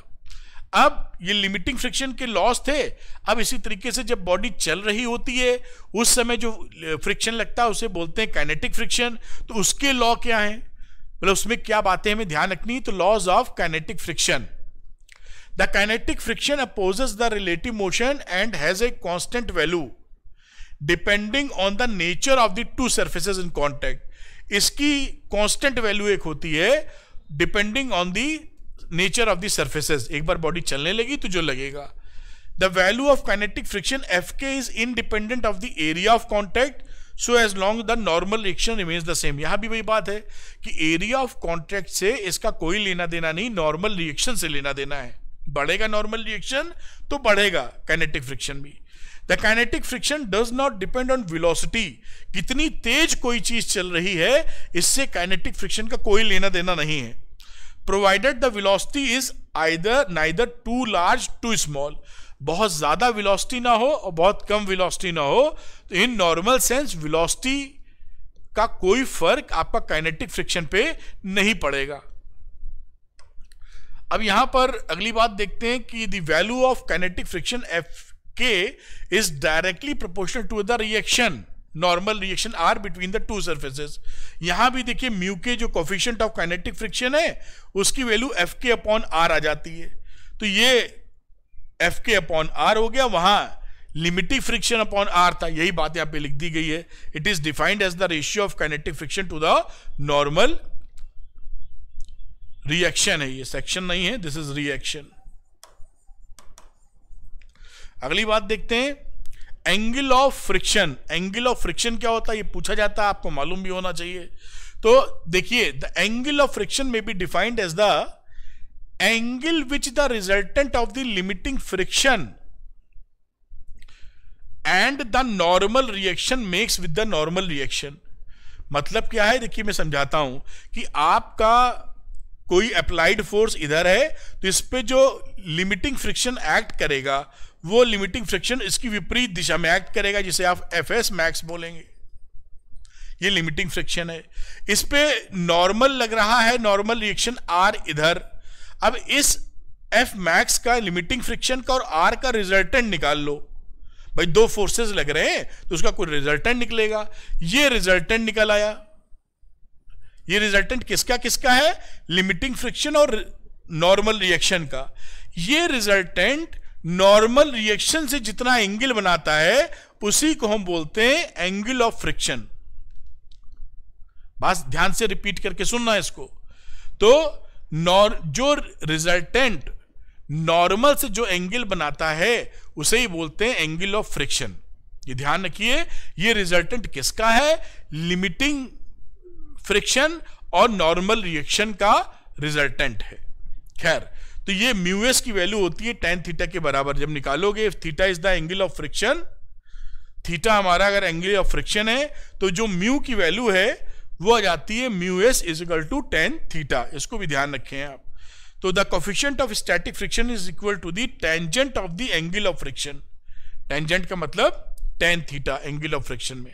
अब एक और वर्ड आता है, जिसे बोलते हैं एंगल ऑफ़ रिपोज ये भी बहुत सरल चीज़ें हैं। देखिए एंगल ऑफ़ रिपोज का क्या मतलब है? किसी भी, यहाँ पे मैं देख रहा था राइटिंग पैड हो तो कोई, मान लीजिए ये राइटिंग पैड हमारा है, ये पेन है सपोज़ करिए छोटा सा पेन है तो इसको अगर मैं ये इंक्लिनेशन बढ़ाऊं अपने हाथ का, ये तो ये अभी नहीं सरकना शुरू हुआ है पेन और बढ़ाया नहीं, अब जैसे ही थोड़ा और बढ़ाऊँगा, ये सरकेगा ये। तो वो एंगल स्लोप का, जब ये बॉडी स्टार्ट करती है खिसकना उस एंगल को आप बोलते हैं एंगल ऑफ़ रिपोज। ये फाइव से दिखाया गया है। यानी पहले फ्लैट थी तो ये नहीं सरका, और उठाया, नहीं सरका, और उठाया, नहीं स्लिप हुआ, ये सरका। और एक ऐसा एंगल आया कि बस्ट, अब इससे जरा सा ऊपर कर दोगे तो ये बॉडी स्लाइड करना शुरू कर देगी। तो वो एंगल जिस पे ये बॉडी स्टार्ट कर दे स्लाइड करना उसे बोलते हैं angle of repose this is the phi अब इस इस डायग्राम में ये बॉडी है, ये इसका एमजी नीचे लग रहा है, ये इसका रिएक्शन है, और इस एमजी के दो कंपोनेंट ले लीजिए एम जी कॉस ये हो जाएगा फाइव ये कई जगह आप लगा चुके होंगे, ये एंगल फाइव है तो ये एंगल भी आपका फाइव हो जाएगा, और ये M G M G sine phi इधर हो गया। ये सिचुएशन बनती है। अब the angle of repose is equal to the angle of friction angle of repose और एंगल ऑफ़ फ्रिक्शन दोनों सेम आ जाते हैं। उस समय क्या होगा? If phi is the angle of repose then mu S is equal to tan phi और इसी तरीके से angle of repose is equal to angle of friction तो theta is equal to phi निकल आता है। Theta is equal to phi तो ये बात ध्यान रखिएगा कि रिपोज का एंगल या एंगल ऑफ़ फ्रिक्शन दोनों का मैग्नीट्यूड सेम होता है। अब टाइप्स ऑफ़ काइनेटिक फ्रिक्शन जो काइनेटिक फ्रिक्शन है, इसके टाइप्स देख लेते हैं, जब बॉडी मूव कर रही है उस समय। तो एक होता है स्लाइडिंग फ्रिक्शन स्लाइड करना जानते हैं, खिसकना, सरकना। तो जो बॉडी खिसक रही होती है स्लाइड कर रही होती है, जैसे ये बॉडी ऐसे खिसक रही है तो स्लाइड कर रही है the force of friction that comes into play when a body slides over the surface of another body is called sliding friction तो स्लाइडिंग फ्रिक्शन कहला देगा। अगर बॉडी रोल कर रही है, जैसे पहिया घूमता है if the body is rolling अगर रोल कर रही तो उसे रोलिंग फ्रिक्शन बोलते हैं। The force of friction that comes into play when a body rolls over the surface of the another body is called rolling friction जैसे पहिया चलता है घूमता है, वैसे rolling for the same magnitude of normal reaction rolling friction is always much smaller than the sliding friction यानी rolling friction हमारा sliding friction से सेम नॉर्मल रिएक्शन के लिए कम होता है। रोलिंग फ्रिक्शन कम होता, पहिया चलाना, घुमाना आसान है। सरकाने की जगह है ना? ये, अब कुछ और बातें भी साथ में। Rolling friction is directly proportional to the normal reaction. जो रोलिंग फ्रिक्शन है, वो नॉर्मल रिएक्शन के प्रोपोर्शनल होता है, जैसा बाकी लोग रहे। Rolling friction is inversely proportional to the radius of the rolling cylinder और व्हील। जो रोलिंग सिलेंडर होता है मतलब ये जो रोल कर रहे हैं, इसका रेडियस अगर आर है, ये मान लीजिए ऐसे रोल कर रहा है तो ये जो फ्रिक्शन होगा रोलिंग का, ये इस आर के इनवर्सली प्रोपोर्शनल है, और इस पर जो नॉर्मल रिएक्शन आर लग रहा है, उसके ये इन डायरेक्टली प्रोपोर्शनल है।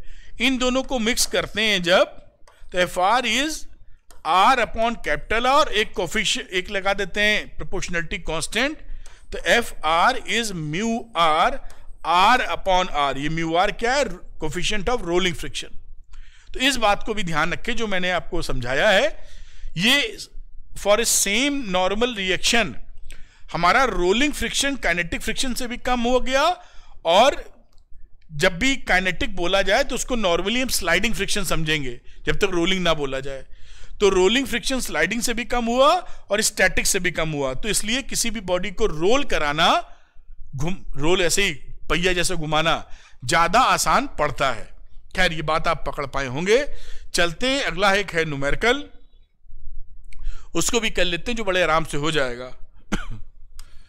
तो ये रहा numerical a block of weight 20 newton is placed on a horizontal table ये एक ब्लॉक है 20 न्यूटन का। एंड टेंशन टी ये टेंशन टी इधर लग रहा है which can be increase to eight newton before the block begins to slide आठ न्यूटन जैसे ही करेंगे, ये ब्लॉक हिलना मोशन में आ जाएगा, खिसकना शुरू हो जाएगा आठ न्यूटन करने में. Is applied at the block at shown in the figure a force of four newton keeps the block moving at a constant speed अब जब ये चलने लगेगा तो चार न्यूटन का फोर्स लगाओगे तो कांस्टेंट स्पीड मेंटेन रहेगी। अच्छी बात। Once it has been set in motion find the coefficient of static and kinetic friction ठीक है साहब। लगाते हैं। अब यहाँ पे देखिए, ये जब ये रखा है तो उसका वेट एमजी नीचे काम कर रहा है रिएक्शन ऊपर काम कर रहा है। तो हम, और ये वर्टिकल मोशन कुछ हो नहीं रहा। तो R minus M G is equal to zero vertical motion zero है। इसका मतलब क्या हो गया? R is equal to M G और एम जी कितना है? बीस न्यूटन। बढ़िया। अब दूसरा हमने यहाँ पर जो वैल्यू लगाई है जो फोर्स लगाया है, वो कहाँ तक फोर्स है? आठ न्यूटन का फोर्स जब तक लगाएँगे तो वो बात पकड़ में आएगी कि आठ न्यूटन तक, आठ न्यूटन लगाने पे चालू हो जाएगा। तो यहाँ पर मैं लिख सकता हूँ टी माइनस टी मतलब जो फोर्स लगाया जा रहा है, और ये स्टैटिक फ्रिक्शन इसकी विपरीत दिशा में लगेगा। जिसे एफ़ एस मैक्स कह सकते हो या एफ़ एल कह सकते हो माइनस एफ़ एस मैक्स और टिल अभी तक ये नहीं चला है। आठ न्यूटन तक नहीं चला है। तो टी की वैल्यू कितनी हो गई? T is equal to F S max और ये वैल्यू कितनी है? टेंशन आठ न्यूटन तो एफ़ की एफ़ एस की वैल्यू आठ न्यूटन है और एफ़ एस हम जानते हैं कितने के बराबर होता है?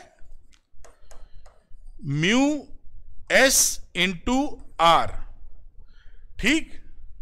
तो म्यू एस इंटू आर तो यहाँ से हमें म्यू एस निकालना है स्टैटिक फ्रिक्शन की वैल्यू तो F S max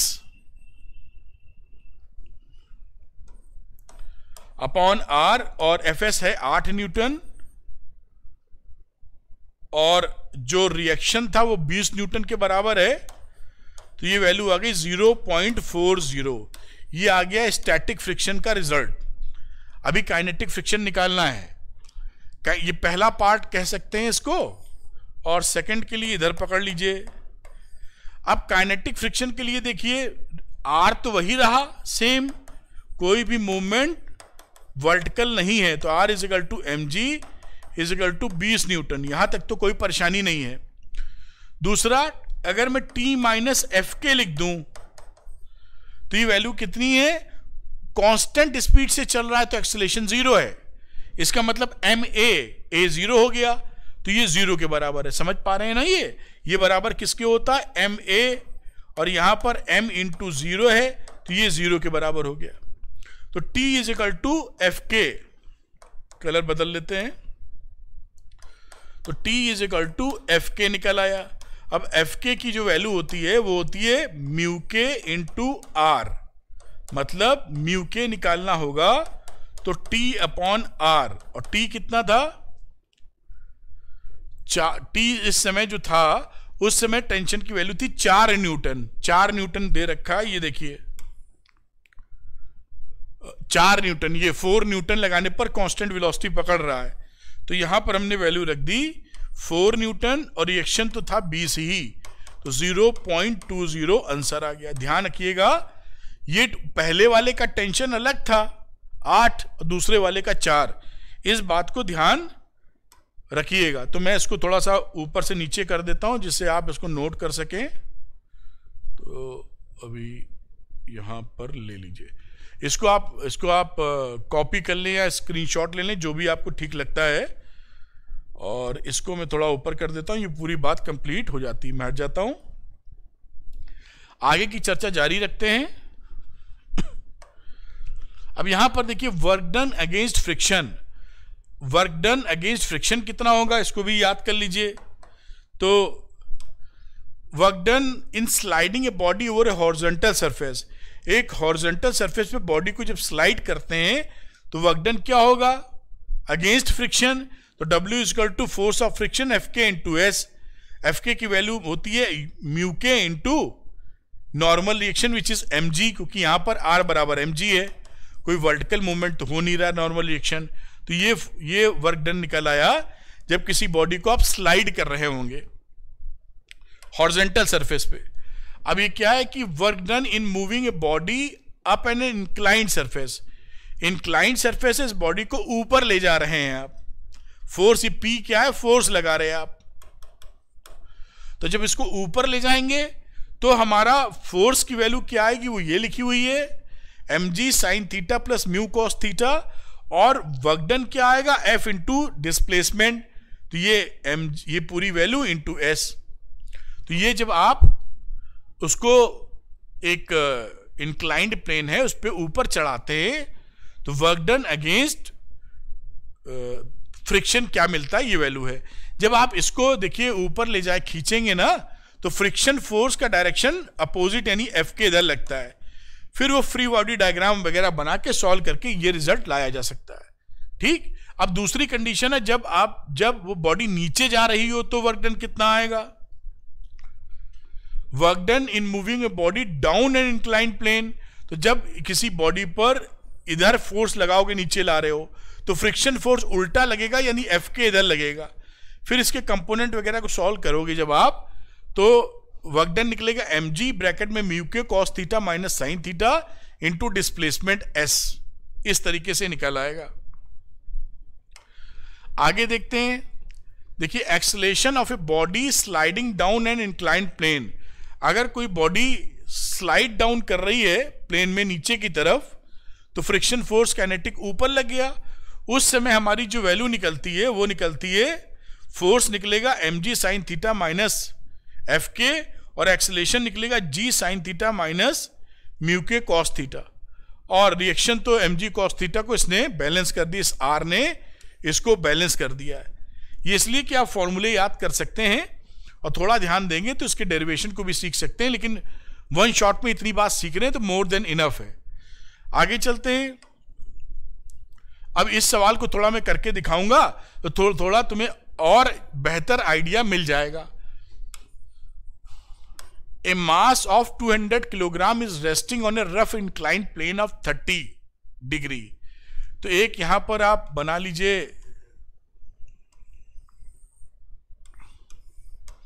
inclination theta ले लेते हैं, जो कि 30 डिग्री के बराबर आएगा। एक ब्लॉक है जो यहाँ पे रेस्ट कर रहा है। If the coefficient of friction is one upon root three find the least अब यहाँ पे इंटरेस्टिंग वर्ड देखिएगा, लिखा है find the least and the greatest force इसके बेसिकली दो डायग्राम बन जाएँगे। पहला वाला जो मैं बता रहा हूँ, वो क्या है? लीस्ट फोर्स के लिए है। तो यहाँ पकड़ते हैं और यहाँ पर इसका जो वेट है वो काम करेगा एम इधर नीचे। और इसके परपेंडिकुलर लेते हैं तो ये थीटा है तो ये थीटा हो जाता है which is M cos theta और इसका दूसरा component M G sine theta और इस डायरेक्शन में लगेगा नॉर्मल रिएक्शन प्लेन के पैरेलल अब आप मान लीजिए ये रुका हुआ, यहाँ पर F1 फोर्स लगा रहे हैं इधर। F1 फोर्स जिससे कि ये body find the least and greatest forces acting parallel to the plane to keep the mass in equilibrium इस मास को इक्विलिब्रियम में रखने के लिए कि भाई, अगर इसको हम ना लगाएँ तो ये क्या करेगा? इधर सरकेगा।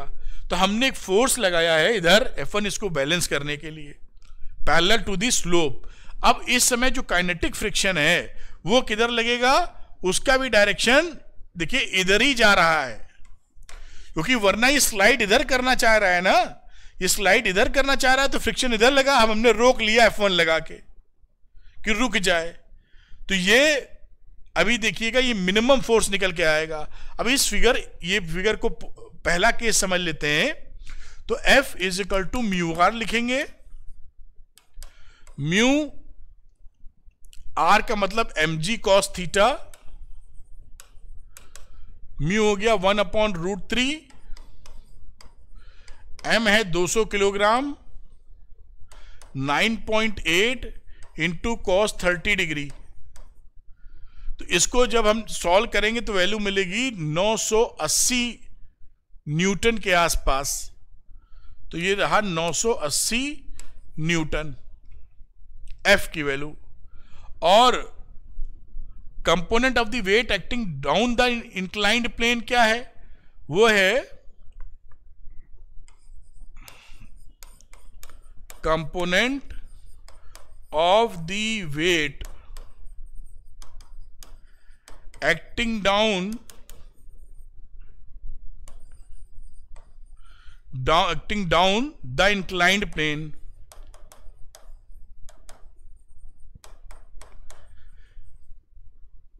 M G sine theta तो ये वैल्यू हो गई एम जी साइन थीटा मतलब 200 सौ into nine point eight into sine thirty degree आधा होता है साइन थर्टी ये वैल्यू आ जाएगी अगेन 980 न्यूटन ये पहला कैलकुलेशन हुआ। अब least force required to prevent the mass ये जो सिचुएशन थी जब एफ़ हमारा ऊपर लग रहा होगा तो लीस्ट फोर्स ये केस वन है लीस्ट फोर्स रिक्वायर्ड वो वैल्यू कितनी हो जाएगी? एफ़ ये एफ़ वन और is equal to M G sine theta minus F M G sine theta नीचे लग रहा है। इसको बैलेंस किसने किया है? इधर F one plus small F ऐसे भी लिख सकते हो मतलब समझाने के लिए। मैं अगर लिखना चाहूँ तो ये दोनों बैलेंस है तो इसे लिख सकते हो। F one plus F is equal to M G sine theta और एफ़ वन की वैल्यू निकालोगे तो लिखोगे M G sine theta minus F दोनों वैल्यू 980 न्यूटन आई हैं। इसलिए जो एफ़ का रिक्वायरमेंट है, वो ज़ीरो है। तो लीस्ट फोर्स कितना है इसका? शून्य। कुछ भी नहीं लगाओगे, इस समय तो बैलेंस हो जाएगा ये। अब मैक्सिमम फोर्स कितना लगाया जाए? पैरेलल टू द स्लोप है। वो कौन सी डायरेक्शन होगी? तो हम लोग मैक्सिमम फोर्स लगाएँगे इस डायरेक्शन में। F2 तो ऐसे ही लगेगा मैक्सिमम लेकिन फोर्स जो फ्रिक्शनल फोर्स क्या होगा, वो नीचे की तरफ़ होगा। ये तो मिनिमम हो गया एफ़ वन अब दूसरा, आपने एफ़ टू फिर ऊपर लगाया, लेकिन एफ़ टू लगाया तो ये किधर मूव करने की कोशिश कर रहा है? आगे, क्योंकि ज़्यादा फोर्स है। उस समय कितना रिएक्शन लग रहा है नीचे के ऊपर, वो मैक्सिमम हो जाएगा। यानी ध्यान से देखिएगा। डायग्राम तो वैसे ही आपने बना दिया। और जो फोर्स है एफ़ टू वो मैक्सिमम लगाया आपने।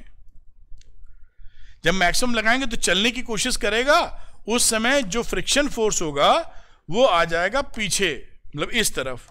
ये थीटा है अगेन एम जी नीचे, और ये रहा एम जी कॉस थीटा इधर रहा एम जी साइन थीटा और ये रहा नॉर्मल रिएक्शन आर बाकी सारी वैल्यूज़ तो बराबर ही हैं जो आप देख पा रहे हैं। नंबर टू केस की बात करें, जो ये है। केस तो ये क्या है? Greatest force required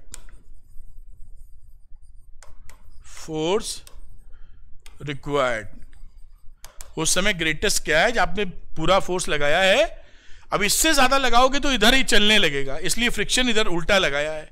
वहाँ पे मिनिमम फोर्स था। तो मिनिमम फोर्स अगर उससे कम लगाते तो नीचे सरकने लगता है, इसलिए फ्रिक्शन ऊपर था। ठीक, अब यहाँ पे वैल्यू क्या लिखोगे? आप लिखेंगे F two is equal to M G sine theta plus F अब ये हो गया 980 ये भी 980 और मिलके हो गया 1960 न्यूटन। ये आंसर हो गया। This is the greatest force और पहले वाला लीस्ट फोर्स था। फ्रिक्शन क्या डायरेक्शन बदला है। लीस्ट में क्या था? देखिए, आपको समझाया है, बोला, ध्यान दीजिएगा। यहाँ पर कम से कम फोर्स, ये हटा लोगे तो किधर, इधर भागेगी। इसलिए एफ़ और ऊपर जो आपने ये ग्रेटेस्ट फोर्स लगाया है, ये अब इससे ज़्यादा लगा दोगे तो ऊपर चली जाएगी। तो इसका मतलब इधर फ्रिक्शन नोट कर लो इसको। फिर अगली बात करते हैं आगे की। मेरे ख्याल से ये यहाँ तक इसे आप नोट कर लीजिए, फिर आगे की बात करेंगे।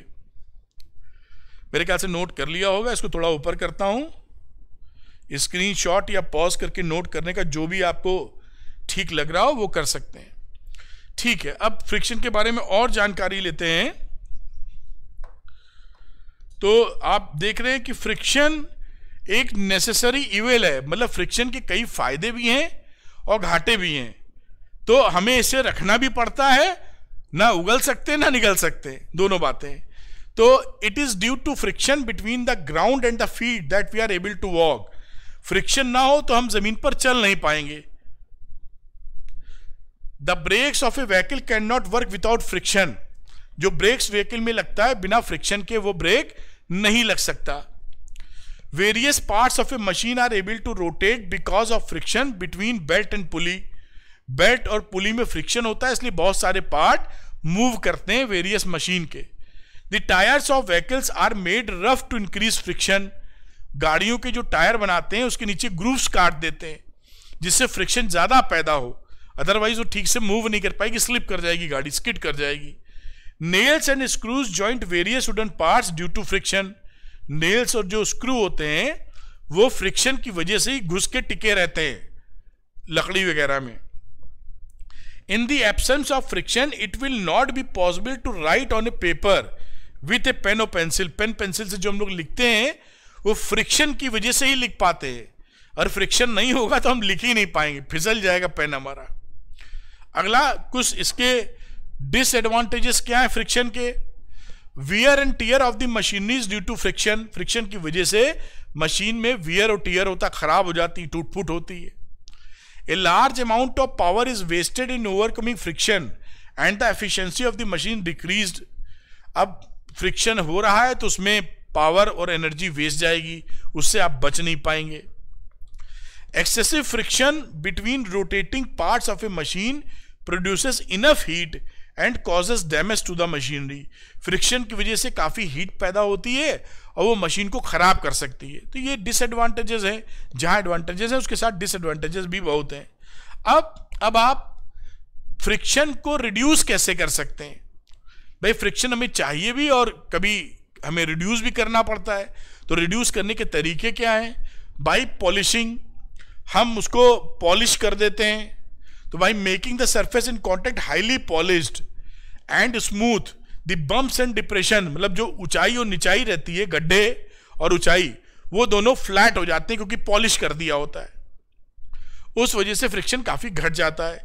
Lubrication a lubrication is a substance solid liquid gas कुछ भी हो सकता है ये which forms a thin layer between two surfaces in contact तेल वेल डाल देते हैं ना, आपने ग्रीस देखी होगी साइकिल में लगाते हैं। जिससे लुब्रिकेशन हो जाता है और चैन वैन ब्रेक व्रेक आराम से चलती तेल डाल देते हैं।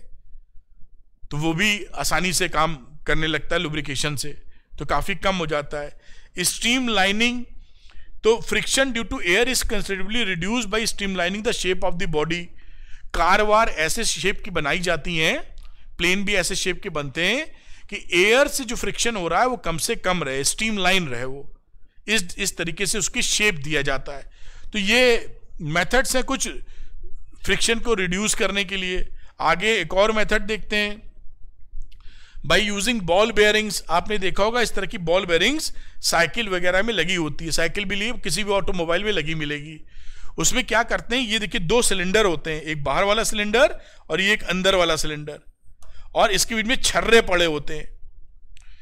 ये स्टील बॉल्स जिसे आप छोटा छर्रा, बड़ा छर्रा दोनों कह सकते हैं। छर्रे समझते हैं हिंदी में, वरना स्टील बॉल समझ लीजिए। अब ये इससे आप एक्सेल जोड़ दिया जाता है। जो इंजन से निकलते ही रॉड, जो घूमती पहिए में लगी होती है, वो इससे जोड़ देते हैं। और जब ये मूव करती है, मान लीजिए क्लॉकवाइज तो ये छर्रे मूव करते हैं उल्टी दिशा में उसके एंटी क्लॉकवाइज और बाहर का एरिया देखिए, इस बाहर का जो सिलेंडर है, वो आसानी से इस तरह मूव कर जाता है।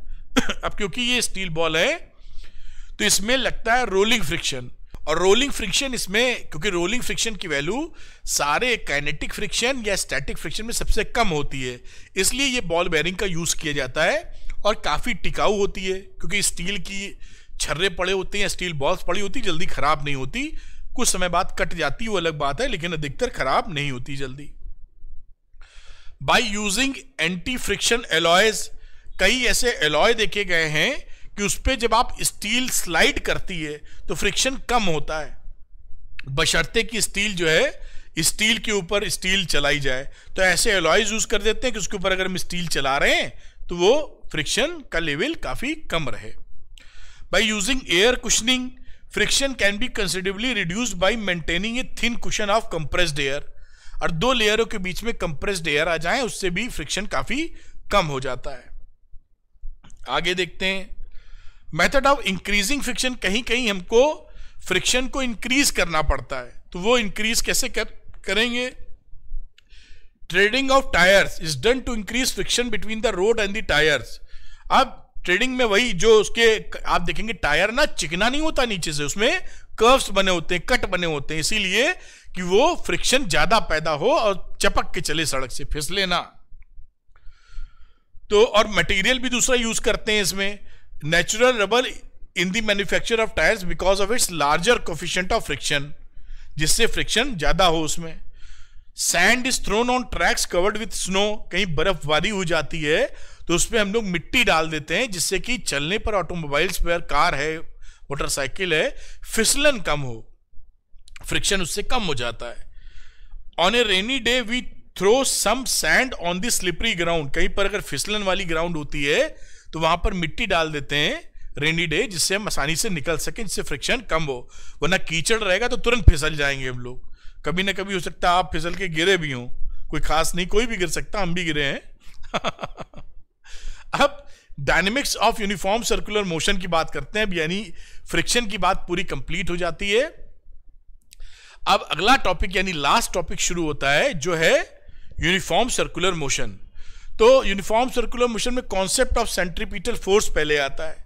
तो पहले यूनिफॉर्म सर्कुलर मोशन आपको याद दिला देते हैं कि कांस्टेंट स्पीड से सर्कुलर मोशन अगर हो रहा है तो उसे बोलते हैं यूनिफॉर्म सर्कुलर मोशन और सेंट्रीपिटल फोर्स किसी भी सर्कुलर मोशन में यूनिफॉर्म सर्कुलर मोशन में जो फोर्स रिक्वायर्ड है, वो है सेंट्रीपिटल फोर्स बिना उसके यूनिफॉर्म सर्कुलर मोशन पॉसिबल नहीं है।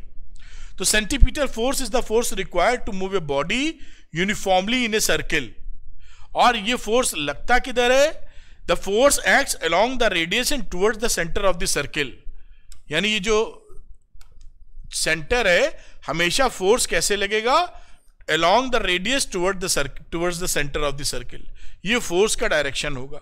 इसे बोलेंगे सेंट्रीपिटल फोर्स कहीं भी बॉडी चली जाए, यहाँ पहुँच जाएगी तो भी रेडियस की तरफ़ रेडियस के अलोंग और सेंटर की तरफ़।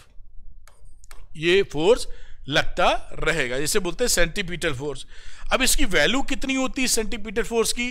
तो आपने पढ़ रखा होगा M V square by R uniform circular motion की बात कर रहे हैं। तो M V square by R जिसे आप v is equal to R omega जो लिखते हैं यह भी रिलेशन तभी वैलिड होता है जब यूनिफॉर्म सर्कुलर मोशन की कहानी हो।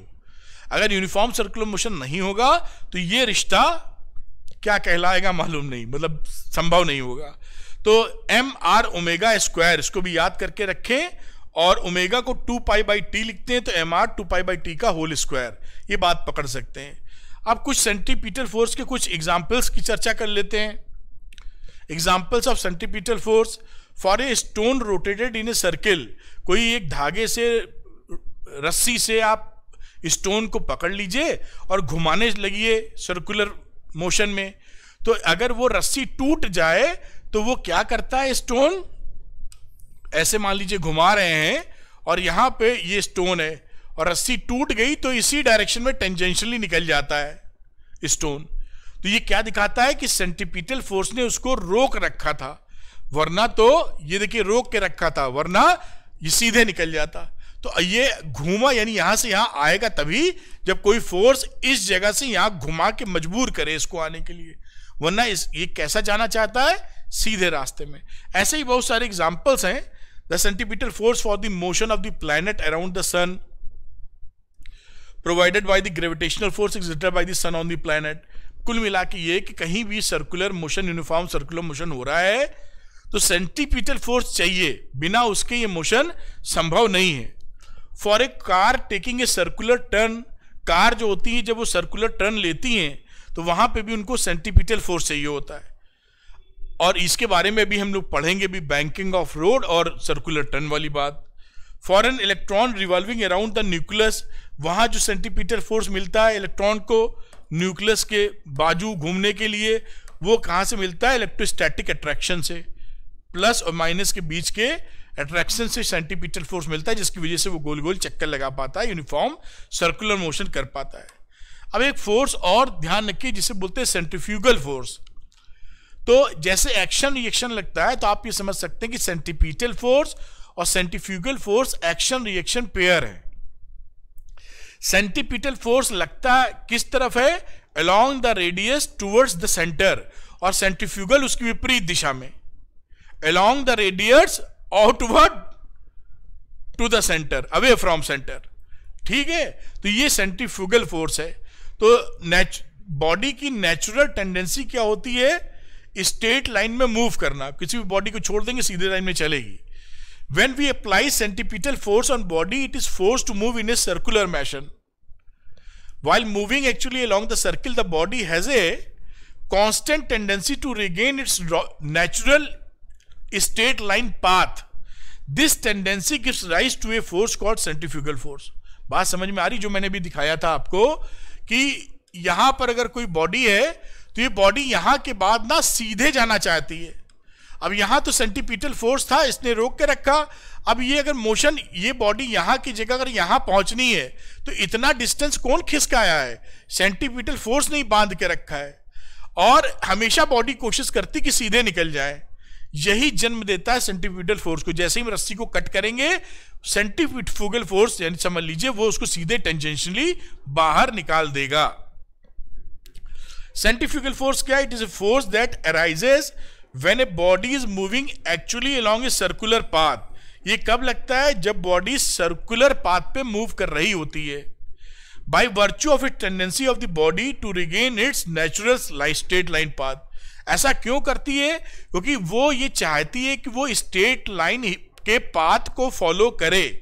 तो उसकी ये टेंडेंसी होती है। तो आप जैसे ही उसको मौका मिलेगा, वो सीधे निकलने की कोशिश करेगी। यही सेंटिफिकल फोर्स को जन्म देता है। तो सेंटिफिकल फोर्स अभी अगली स्लाइड में मेरे ख्याल से होगा एक्शन रिएक्शन पेयर की तरफ़ ट्रीट करना है। रस्सी यहाँ से कटी नहीं कि ये सीधे निकला नहीं।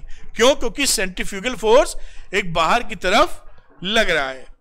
सेंटिफिकल फोर्स को और समझाने के लिए देखिए, ये centrifugal force can be regarded as the reaction of centripetal force इसको कैसे हम समझ सकते हैं कि ये रिएक्शन है सेंटिपिटल फोर्स का। सेंटिपिटल फोर्स एक्शन है तो उसका रिएक्शन सेंटिफ्यूगल फोर्स है। ऐसा समझ लेना चाहिए। As forces of action reaction are always equal and opposite therefore magnitude of centrifugal force भी m v square by r ही रहेगा। तो जो सेंट्रीपिटल फोर्स का वैल्यू था, वही हमारा सेंट्रीफ्यूगल फोर्स का भी वैल्यू रहता है। बस इसका डायरेक्शन किधर होगा? Opposite to the centripetal force however direction of centrifugal force is opposite to the direction of centripetal force that is centrifugal force act along the radius and away from the centre of circle यानी अगर ये circular motion है तो centripetal force इधर लग रहा है और सेंट्रीफ्यूगल फोर्स इधर लग रहा है। ये एक्शन रिएक्शन पेयर के रूप में शामिल हो जाते हैं। ये समझना ज़रूरी है, जिससे थोड़ा मज़ा आए पढ़ाई के दौरान आपको। इसी में देखिए, इस बात को और समझाने की कोशिश की गई है कि note that centripetal and centrifugal forces being the forces of action and reaction act always on different bodies तो ये ये दोनों अलग अलग बॉडी पे काम करते हैं। इस बात को समझाने के लिए देखिए ये ये बंदा है जिसने हाथ में एक रस्सी पकड़ रखी है स्टोन को घुमाया जा रहा है ये घूमने का प्रक्रिया। अब देखिए एक्शन रिएक्शन किधर लग रहा है वो भी मैंने लिखा है जिससे आपको आसानी हो समझने में। When a piece of stone tied to the one of uh, end of the string is rotated in a circle centripetal force F is applied on the stone by the hand centripetal force कहाँ से मिलेगा इसको? मिलेगा जो हम अपने हाथ से पत्थर को खींचने में लगाएँगे। हम ऐसे घुमा रहे हैं तो उसको सेंटिपिटल फोर्स कौन दे रहा है? हमारा हाथ पकड़ रखा है ना, हम फोर्स लगा रहे हैं कि तुम भागो नहीं भैया, तुम हमारे पास रहो। ठीक? वो फोर्स सेंटिफिकल फोर्स है। In in in term the hand is pulled outward by centrifugal force F2 ये F1 समझ लीजिए। F2 तो ये जो F1 फोर्स है, वो सेंट्रिफिकल फोर्स है और इन टर्न क्या होता है कि इस जो एक्शन हम लगा रहे हैं, खींचने का स्टोन पर स्टोन हमारे हाथ पे लगाता है फोर्स सेंट्रीफ्यूगल फोर्स हम लगा रहे थे क्या? पत्थर पर सेंटिपिटल फोर्स जिससे वो सर्कुलर मोशन करे। और पत्थर हमारे हाथ पे लगा रहा है तो क्या लगा रहा है? सेंट्रीफ्यूगल फोर्स क्योंकि एक्शन रिएक्शन पेयर में हमेशा हमने सीखा है कि ये दोनों इक्वल एंड अपोजिट होते हैं। लेकिन इनका डायरेक्ट ये अलग अलग बॉडी पे लगते हैं। डायरेक्शन तो अलग ही है अपोजिट है, लगते अलग अलग बॉडी पर है। तो सेंटीपीटल फोर्स लगा स्टोन के ऊपर और सेंटीफ्यूगल फोर्स लगा हमारे हाथ के ऊपर। जैसा आप देख रहे हैं स्टोन के ऊपर लगा तो घूम रहा है, इधर जा रहा है। इसलिए ये कैंसिल आउट नहीं होते अलग अलग बॉडी पे लगने की वजह से। तो due to tendency of the stone to regain its natural straight line path ये क्यों लगता है सेंटिफिकल क्योंकि पत्थर सीधी रेखा में चलना चाहता है, इसलिए ऐसी कहानी होती है।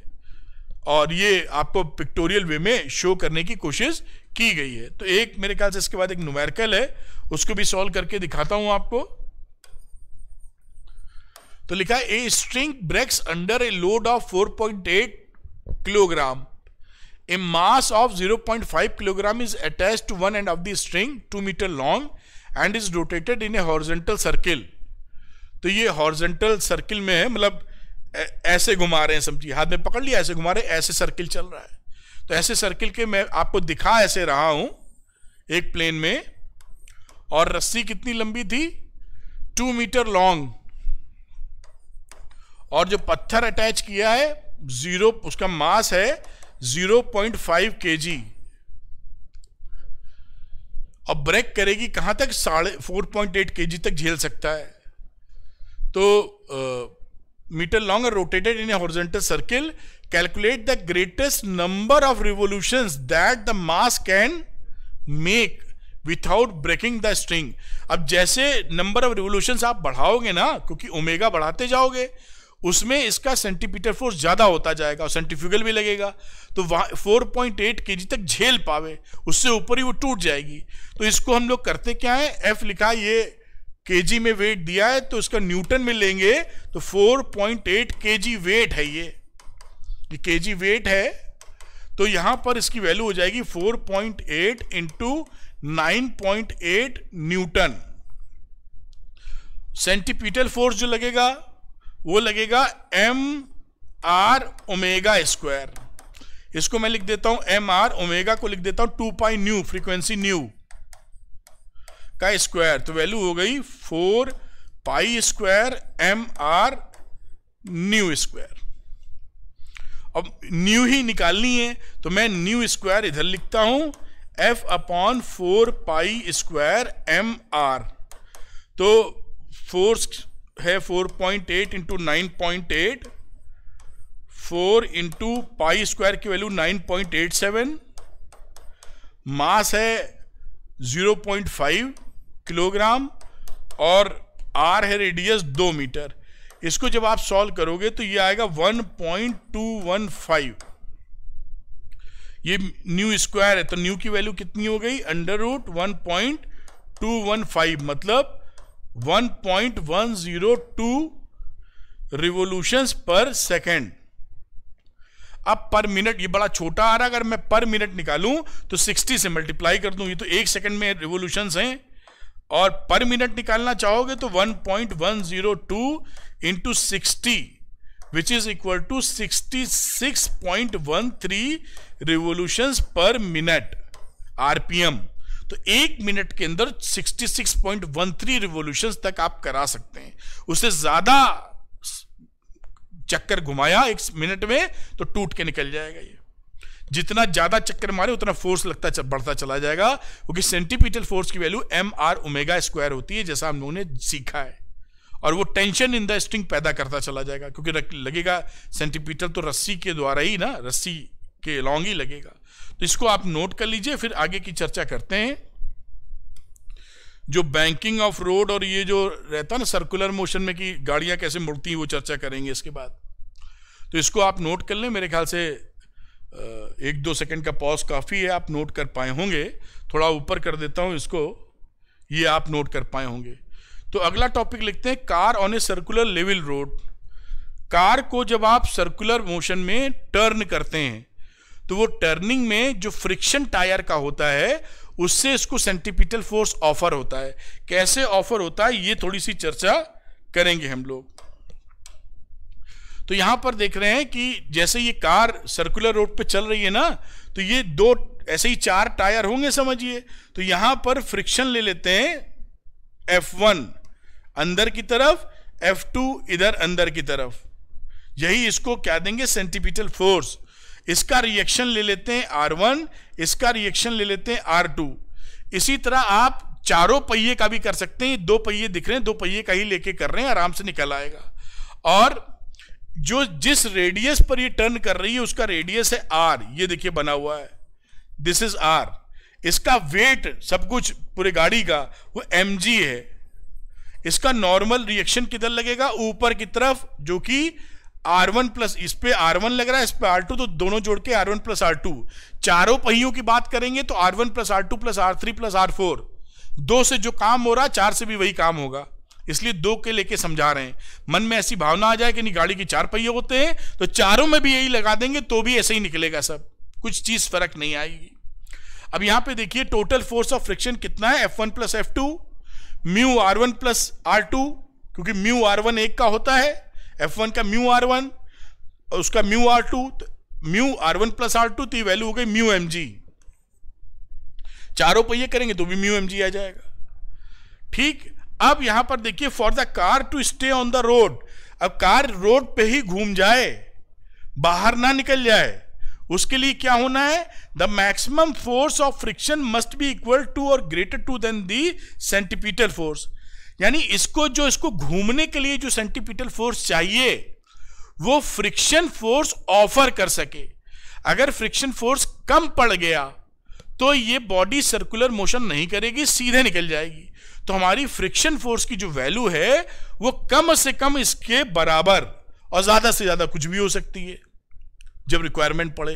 तो m mu into m g जो कि फ्रिक्शन फोर्स था म्यू इंटू आर जो लिखते हैं म्यू इंटू एम जी ये वैल्यू ग्रेटर और equal to m v square by r के बराबर होनी चाहिए। तभी वो सेंटीमीटर फोर्स हमको मिल जाएगा।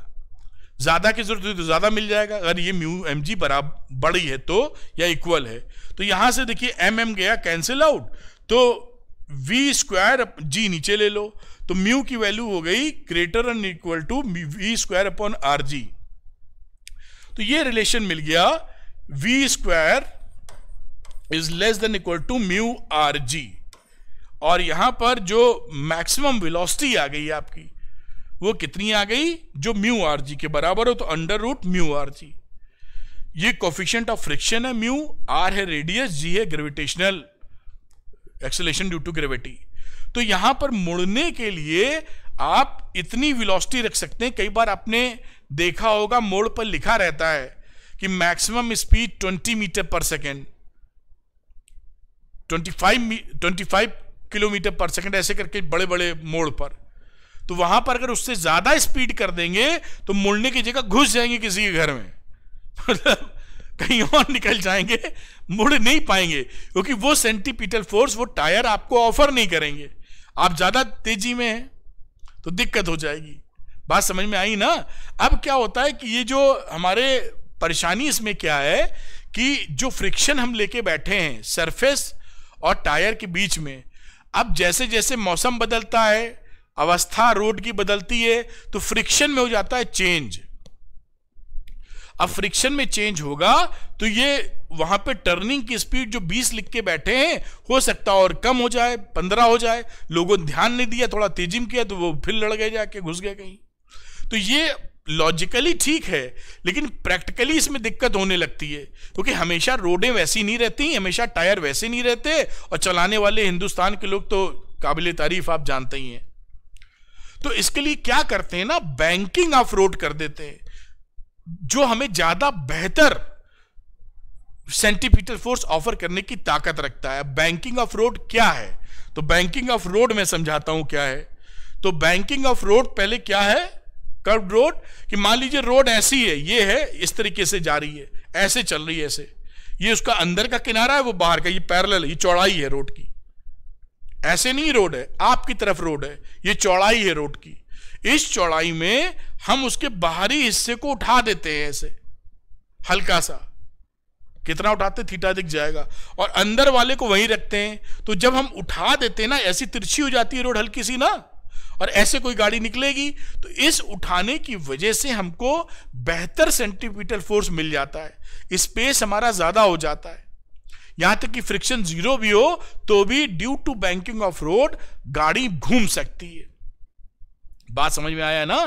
तो बैंकिंग ऑफ़ रोड क्या है कि सड़क अगर ऐसी है, ये सड़क जा रही है सीधे तो बाहर के हिस्से को उठा देना है, अंदर वाले हिस्से को ऐसे रखना है। तो थोड़ी ऐसी सड़क दिखेगी, ज़्यादा नहीं उठाते ऐसी, थोड़ी उठाते हैं जिससे कि मुड़ने में आसानी हो। इसी को हम बोलते हैं बैंकिंग ऑफ़ रोड ठीक है? तो the system of raising the outer edge of a curve road above its inner edge is called the banking of the curve road मैंने सारे नोट्स में बढ़िया तरीके से मेहनत से बनाया है कि आप एकदम तीर मार दीजिए। समझ गए ना? कोई आप बैंकिंग हो कोई यही नहीं समझ में आएगा तो करेंगे क्या? आगे। तो the angle through which the outer edge of the curve surface curve road is raised above the inner edge is called the angle of banking तो ये देखिए, ये ये बाहरी हिस्सा था रोड का और ये अंदर का ये एंगल ऑफ़ बैंकिंग थीटा है। थीटा से इसको उठा दिया है। अब यहाँ पे जो फोर्सेस आपको दिखाई पड़ रहे हैं, वो फोर्सेस कौन कौन से दिखेंगे? अभी यहाँ लिखे भी हैं, जो समझाऊँगा। एम नीचे लग गया फोर्स रिएक्शन फोर्स इसके, इस सरफेस के नॉर्मल आर इस आर के दो कंपोनेंट ले लो थीटा ये है तो थीटा ये हो जाएगा। This is R cos theta इधर आर साइन थीटा इधर। अब वर्टिकल मूवमेंट तो कोई हो नहीं रहा गाड़ी उछल तो रही नहीं है तो आर कॉस थीटा एमजी के बराबर हो जाएगा। बैलेंस हो गई, सड़क पे चलेगी। और ये जो आर साइन थीटा है ना, ये आर साइन थीटा आपको सेंटीपीटल फोर्स प्रोवाइड करेगा। और आर साइन थीटा के साथ साथ इस पे लगने वाला फ्रिक्शन भी अंदर की तरफ़। ये दोनों मिलके आपको सेंटीपीटल फोर्स देंगे। यहाँ तक कि अगर एफ़ ज़ीरो भी हो जाए फ्रिक्शन फोर्स तो भी आर साइन थीटा आपका सच्चा साथी है, काफ़ी मदद करेगा आपकी। बात पकड़ में आ रही होगी आपको। तो यही लिखा है कि देखिए क्या क्या फोर्सेस हैं। Weight m acting vertically downward जो समझाया आपको। नॉर्मल रिएक्शन जिस सरफेस पे उसके normally force of friction acting downward along the inclined plane ये फोर्स ऑफ़ फ्रिक्शन का डायरेक्शन है। इस तरीके से फोर्स ऑफ़ फ्रिक्शन लग रहा है। अब क्या होगा देखिए, यहाँ पर R sine theta plus F cos theta m v square by r के बराबर है। अब सेंटीपीटल फोर्स में क्या है देखिए आर साइन थीटा अब ये देखिए यहाँ पर ये एफ़ है थीटा तो इसके दो कंपोनेंट ले लीजिए एफ़ के फ्रिक्शन फोर्स के। ये हो गया एफ़ कॉस थीटा और ये हो गया एफ़ साइन थीटा ठीक? तो ये अंदर ये दोनों मिलके सेंटीपीटल फोर्स दे रहे हैं तो R sine theta F cos theta R sine theta F cos theta मिलके M V square by R जो सेंटीपीटल फोर्स आपको ऑफ़र कर रहे हैं। और यहाँ दूसरी इक्वेशन देखिए m g plus F sine theta अब ये जो एम जी है ना ये, इस एम जी में ये पार्ट जुड़ गया तो m g plus F sine theta is equal to R और कॉस थीटा तो m g plus F sine theta is to और कॉस थीटा ये क्वेश्चन नंबर टू है। इन दोनों को सॉल्व कर लेंगे तो वी की वैल्यू ये मिल जाएगी। On solving these two you will get v is equal to under root r g mu plus tan theta upon one minus mu tan theta ये विलोसिटी होगी आपकी, जिस विलोसिटी से आप बैंकिंग ऑफ़ रोड पे घूम सकते हैं। थीटा है एंगल ऑफ़ बैंकिंग म्यू है कोफिशियंट ऑफ़ फ्रिक्शन इससे आप कैलकुलेट रेडियस वो जिस रेडियस से मुड़ रहे हैं आप। अब यहाँ पर अगर इंटरेस्टिंग चीज़ क्या देखें, अभी अगली स्लाइड में कि अगर हम म्यू को ज़ीरो भी कर दें तो भी वेलोसिटी हमारे पास फाइनाइट आ रही है। यानी अगर हम धीरे मुड़े बैंकिंग रोड पे और टायर घिसे भी हैं तो भी मुड़ जाते हैं कोई दिक्कत नहीं होती। तो यहाँ पर अगले में देखिए, ये फॉर्मूला लिखाया था कि वी मैक्सिमम कितना हो जाएगा वी मैक्सिमम इतना हो जाएगा। इस फॉर्मूले को ध्यान कर सकते हैं, बहुत अच्छी पढ़ाई के लिए। और अगर म्यू की वैल्यू ज़ीरो पर पुट कर दें यहाँ, कि मान लीजिए फ्रिक्शन लग ही नहीं रहा है, एकदम सड़क चिकनी हो गई है, आपके टायर चिकने हो गए हैं, लगभग ऐसी स्थिति है कि फ्रिक्शन लग ही नहीं पा रहा है। तो उस दशा में भी v की value r g tan theta है, यानी इतनी स्पीड से अगर आप घुमाएँगे तो भी घुमा ले जाएँगे। इंटरेस्टिंग बात है। मान लीजिए वहाँ पर कुछ तेल गिरा हुआ है। फ्रिक्शन ज़ीरो है, लेकिन फिर भी स्पीड कम कर देंगे तो इस स्पीड से बैंकिंग ऑफ़ रोड पे आप चले जाएँगे। लेकिन अगर बैंकिंग ऑफ़ रोड नहीं होगी, केवल फ्रिक्शन के भरोसे हैं तो तेल पड़ा है तो आप भी भगवान भरोसे हैं, फिर फिसल ही जाएँगे आप। बात समझ रहे हैं? बैंकिंग ऑफ़ रोड का फ़ायदा। तो ये बैंकिंग ऑफ़ रोड का फ़ायदा, इसी में अब साइकिल की बात कर लेते हैं बाइसिकल की भी बात कर लेते हैं, उसका भी बात है समझ लें। ये बाइस्किल की कहानी है। बेंडिंग ऑफ़ ए साइकिलिस्ट कैसे होती है? अब जो साइकिल बंदा चला रहा होता है, आप चला रहे हैं, हम चला रहे हैं, उस समय हम लोग अक्सर जब टर्न करते हैं ना तो हम झुक जाते हैं, हमने देखा होगा। हम जिस तरफ़ मुड़ते हैं, उस तरफ़ झुक के आराम से मुड़ लेते हैं। या आपने ओलंपिक वगैरह या बड़े गेम्स में, एशियन गेम्स में, जो रेसर नहीं होते साइकिल में बहुत तेज चलाते हैं। वो भी जब मुड़ते हैं तो देखिए एकदम, या मोटरसाइकिल देखी होगी। मोटरसाइकिल जब मुड़ते हैं तो एकदम लगता है ज़मीन से उनका पैर टच हो रहा है। इतना इतना ज़मीन के पास लिया इतना मोड़ दे इतना झुक जाते हैं। लगता है कि फिसल ही न जाए। इसलिए वो झुकते हैं, क्योंकि वो आराम से उतनी स्पीड से मुड़ पाए, क्योंकि उनका वी बहुत ज़्यादा है। विलोसिटी और अगर वो झुक के उस चीज़ को संभालेंगे नहीं तो इस दर्शकों के ऊपर चढ़ा देंगे। तो ये देखिए, यहाँ कहानी क्या होती है? ये साइकिल सवार है, यहाँ पे बैठा हुआ है। अब यहाँ पर ये यहाँ एक्शन लगाएगा, इसका रिएक्शन ये आर इधर मिलेगा, साइकिल पे बंदे सहित। इसका ये कितना ये मुड़ा है? दिस इज़ थीटा यही थीटा यहाँ पर आ गया। इसके दो कंपोनेंट ले लो R cos theta vertical R sine theta horizontal और वेट तो हमेशा नीचे लगेगा ही। अब इसको बैलेंस कर दीजिए, देखिए। आर कॉस थीटा एमजी के बराबर और आर साइन थीटा आपको दे रहा है m v square by r अब इसको एम वी बाई स्क्वायर को आर साइन थीटा के बराबर करोगे तो ये tan theta equal to v square upon r g यानी आपको एंगल अगर निकालना है कि कितने एंगल से आप मोड़ना चाहते हो। तो अगर देखिए, अगर आपकी विलोसिटी बहुत ज़्यादा है तो ये एंगल की वैल्यू बहुत ज़्यादा निकलेगी यहाँ। देखिए velocity your velocity is very high then tan theta की वैल्यू ज़्यादा हो जाएगी। यानी थीटा ज़्यादा रखना पड़ेगा आपको। थीटा ज़्यादा रखने का मतलब है झुकना ज़्यादा पड़ेगा आपको। क्योंकि ये एंगल ऊपर झुकाव का एंगल लिया है वर्टिकल डायरेक्शन से। इसलिए वो लोग बहुत ज़्यादा झुक के मोड़ते हैं। या साइकिल हम लोग चलाते हैं तो हम भी थोड़ा झुक जाते हैं हम लोग, जिससे हमें ये एडवांटेज मिल सके। उम्मीद है ये बात आपको समझ में आई होगी। एक न्यूमेरिकल देख लेते हैं इसमें, जिससे और अंडरस्टैंडिंग बढ़ जाए। तो ये देखिए numerical a circular race track of radius 300 metre is banked ये रोड बैंकिंग की कहानी है। वो 15 डिग्री का बैंकिंग किया गया है। तो यहाँ पर आर की वैल्यू है 300 मीटर और एंगल है 15 degree. If the coefficient of friction between the wheels of a race car and the road is 0.2 point two mu s की वैल्यू दी है 0.2 point two according to question what is the optimum speed of the race car to avoid wear and tear on its tyre तो ये हो गई आपकी जो optimum speed है, जहाँ पे फ्रिक्शन हमारा म्यू ज़ीरो हो जाए for optimum speed wear tear zero wear and tear टूट फूट ज़ीरो यानी इसका मतलब क्या है? म्यू ज़ीरो फ्रिक्शन ना हो. फ्रिक्शन नहीं होगा तो टूट फूट नहीं होगी. उस दशा में वी नॉट क्या होता है? आर जी टेन थीटा भी पड़ा था म्यू ज़ीरो होने पर। अब इसकी वैल्यू लिख दो यहाँ पर।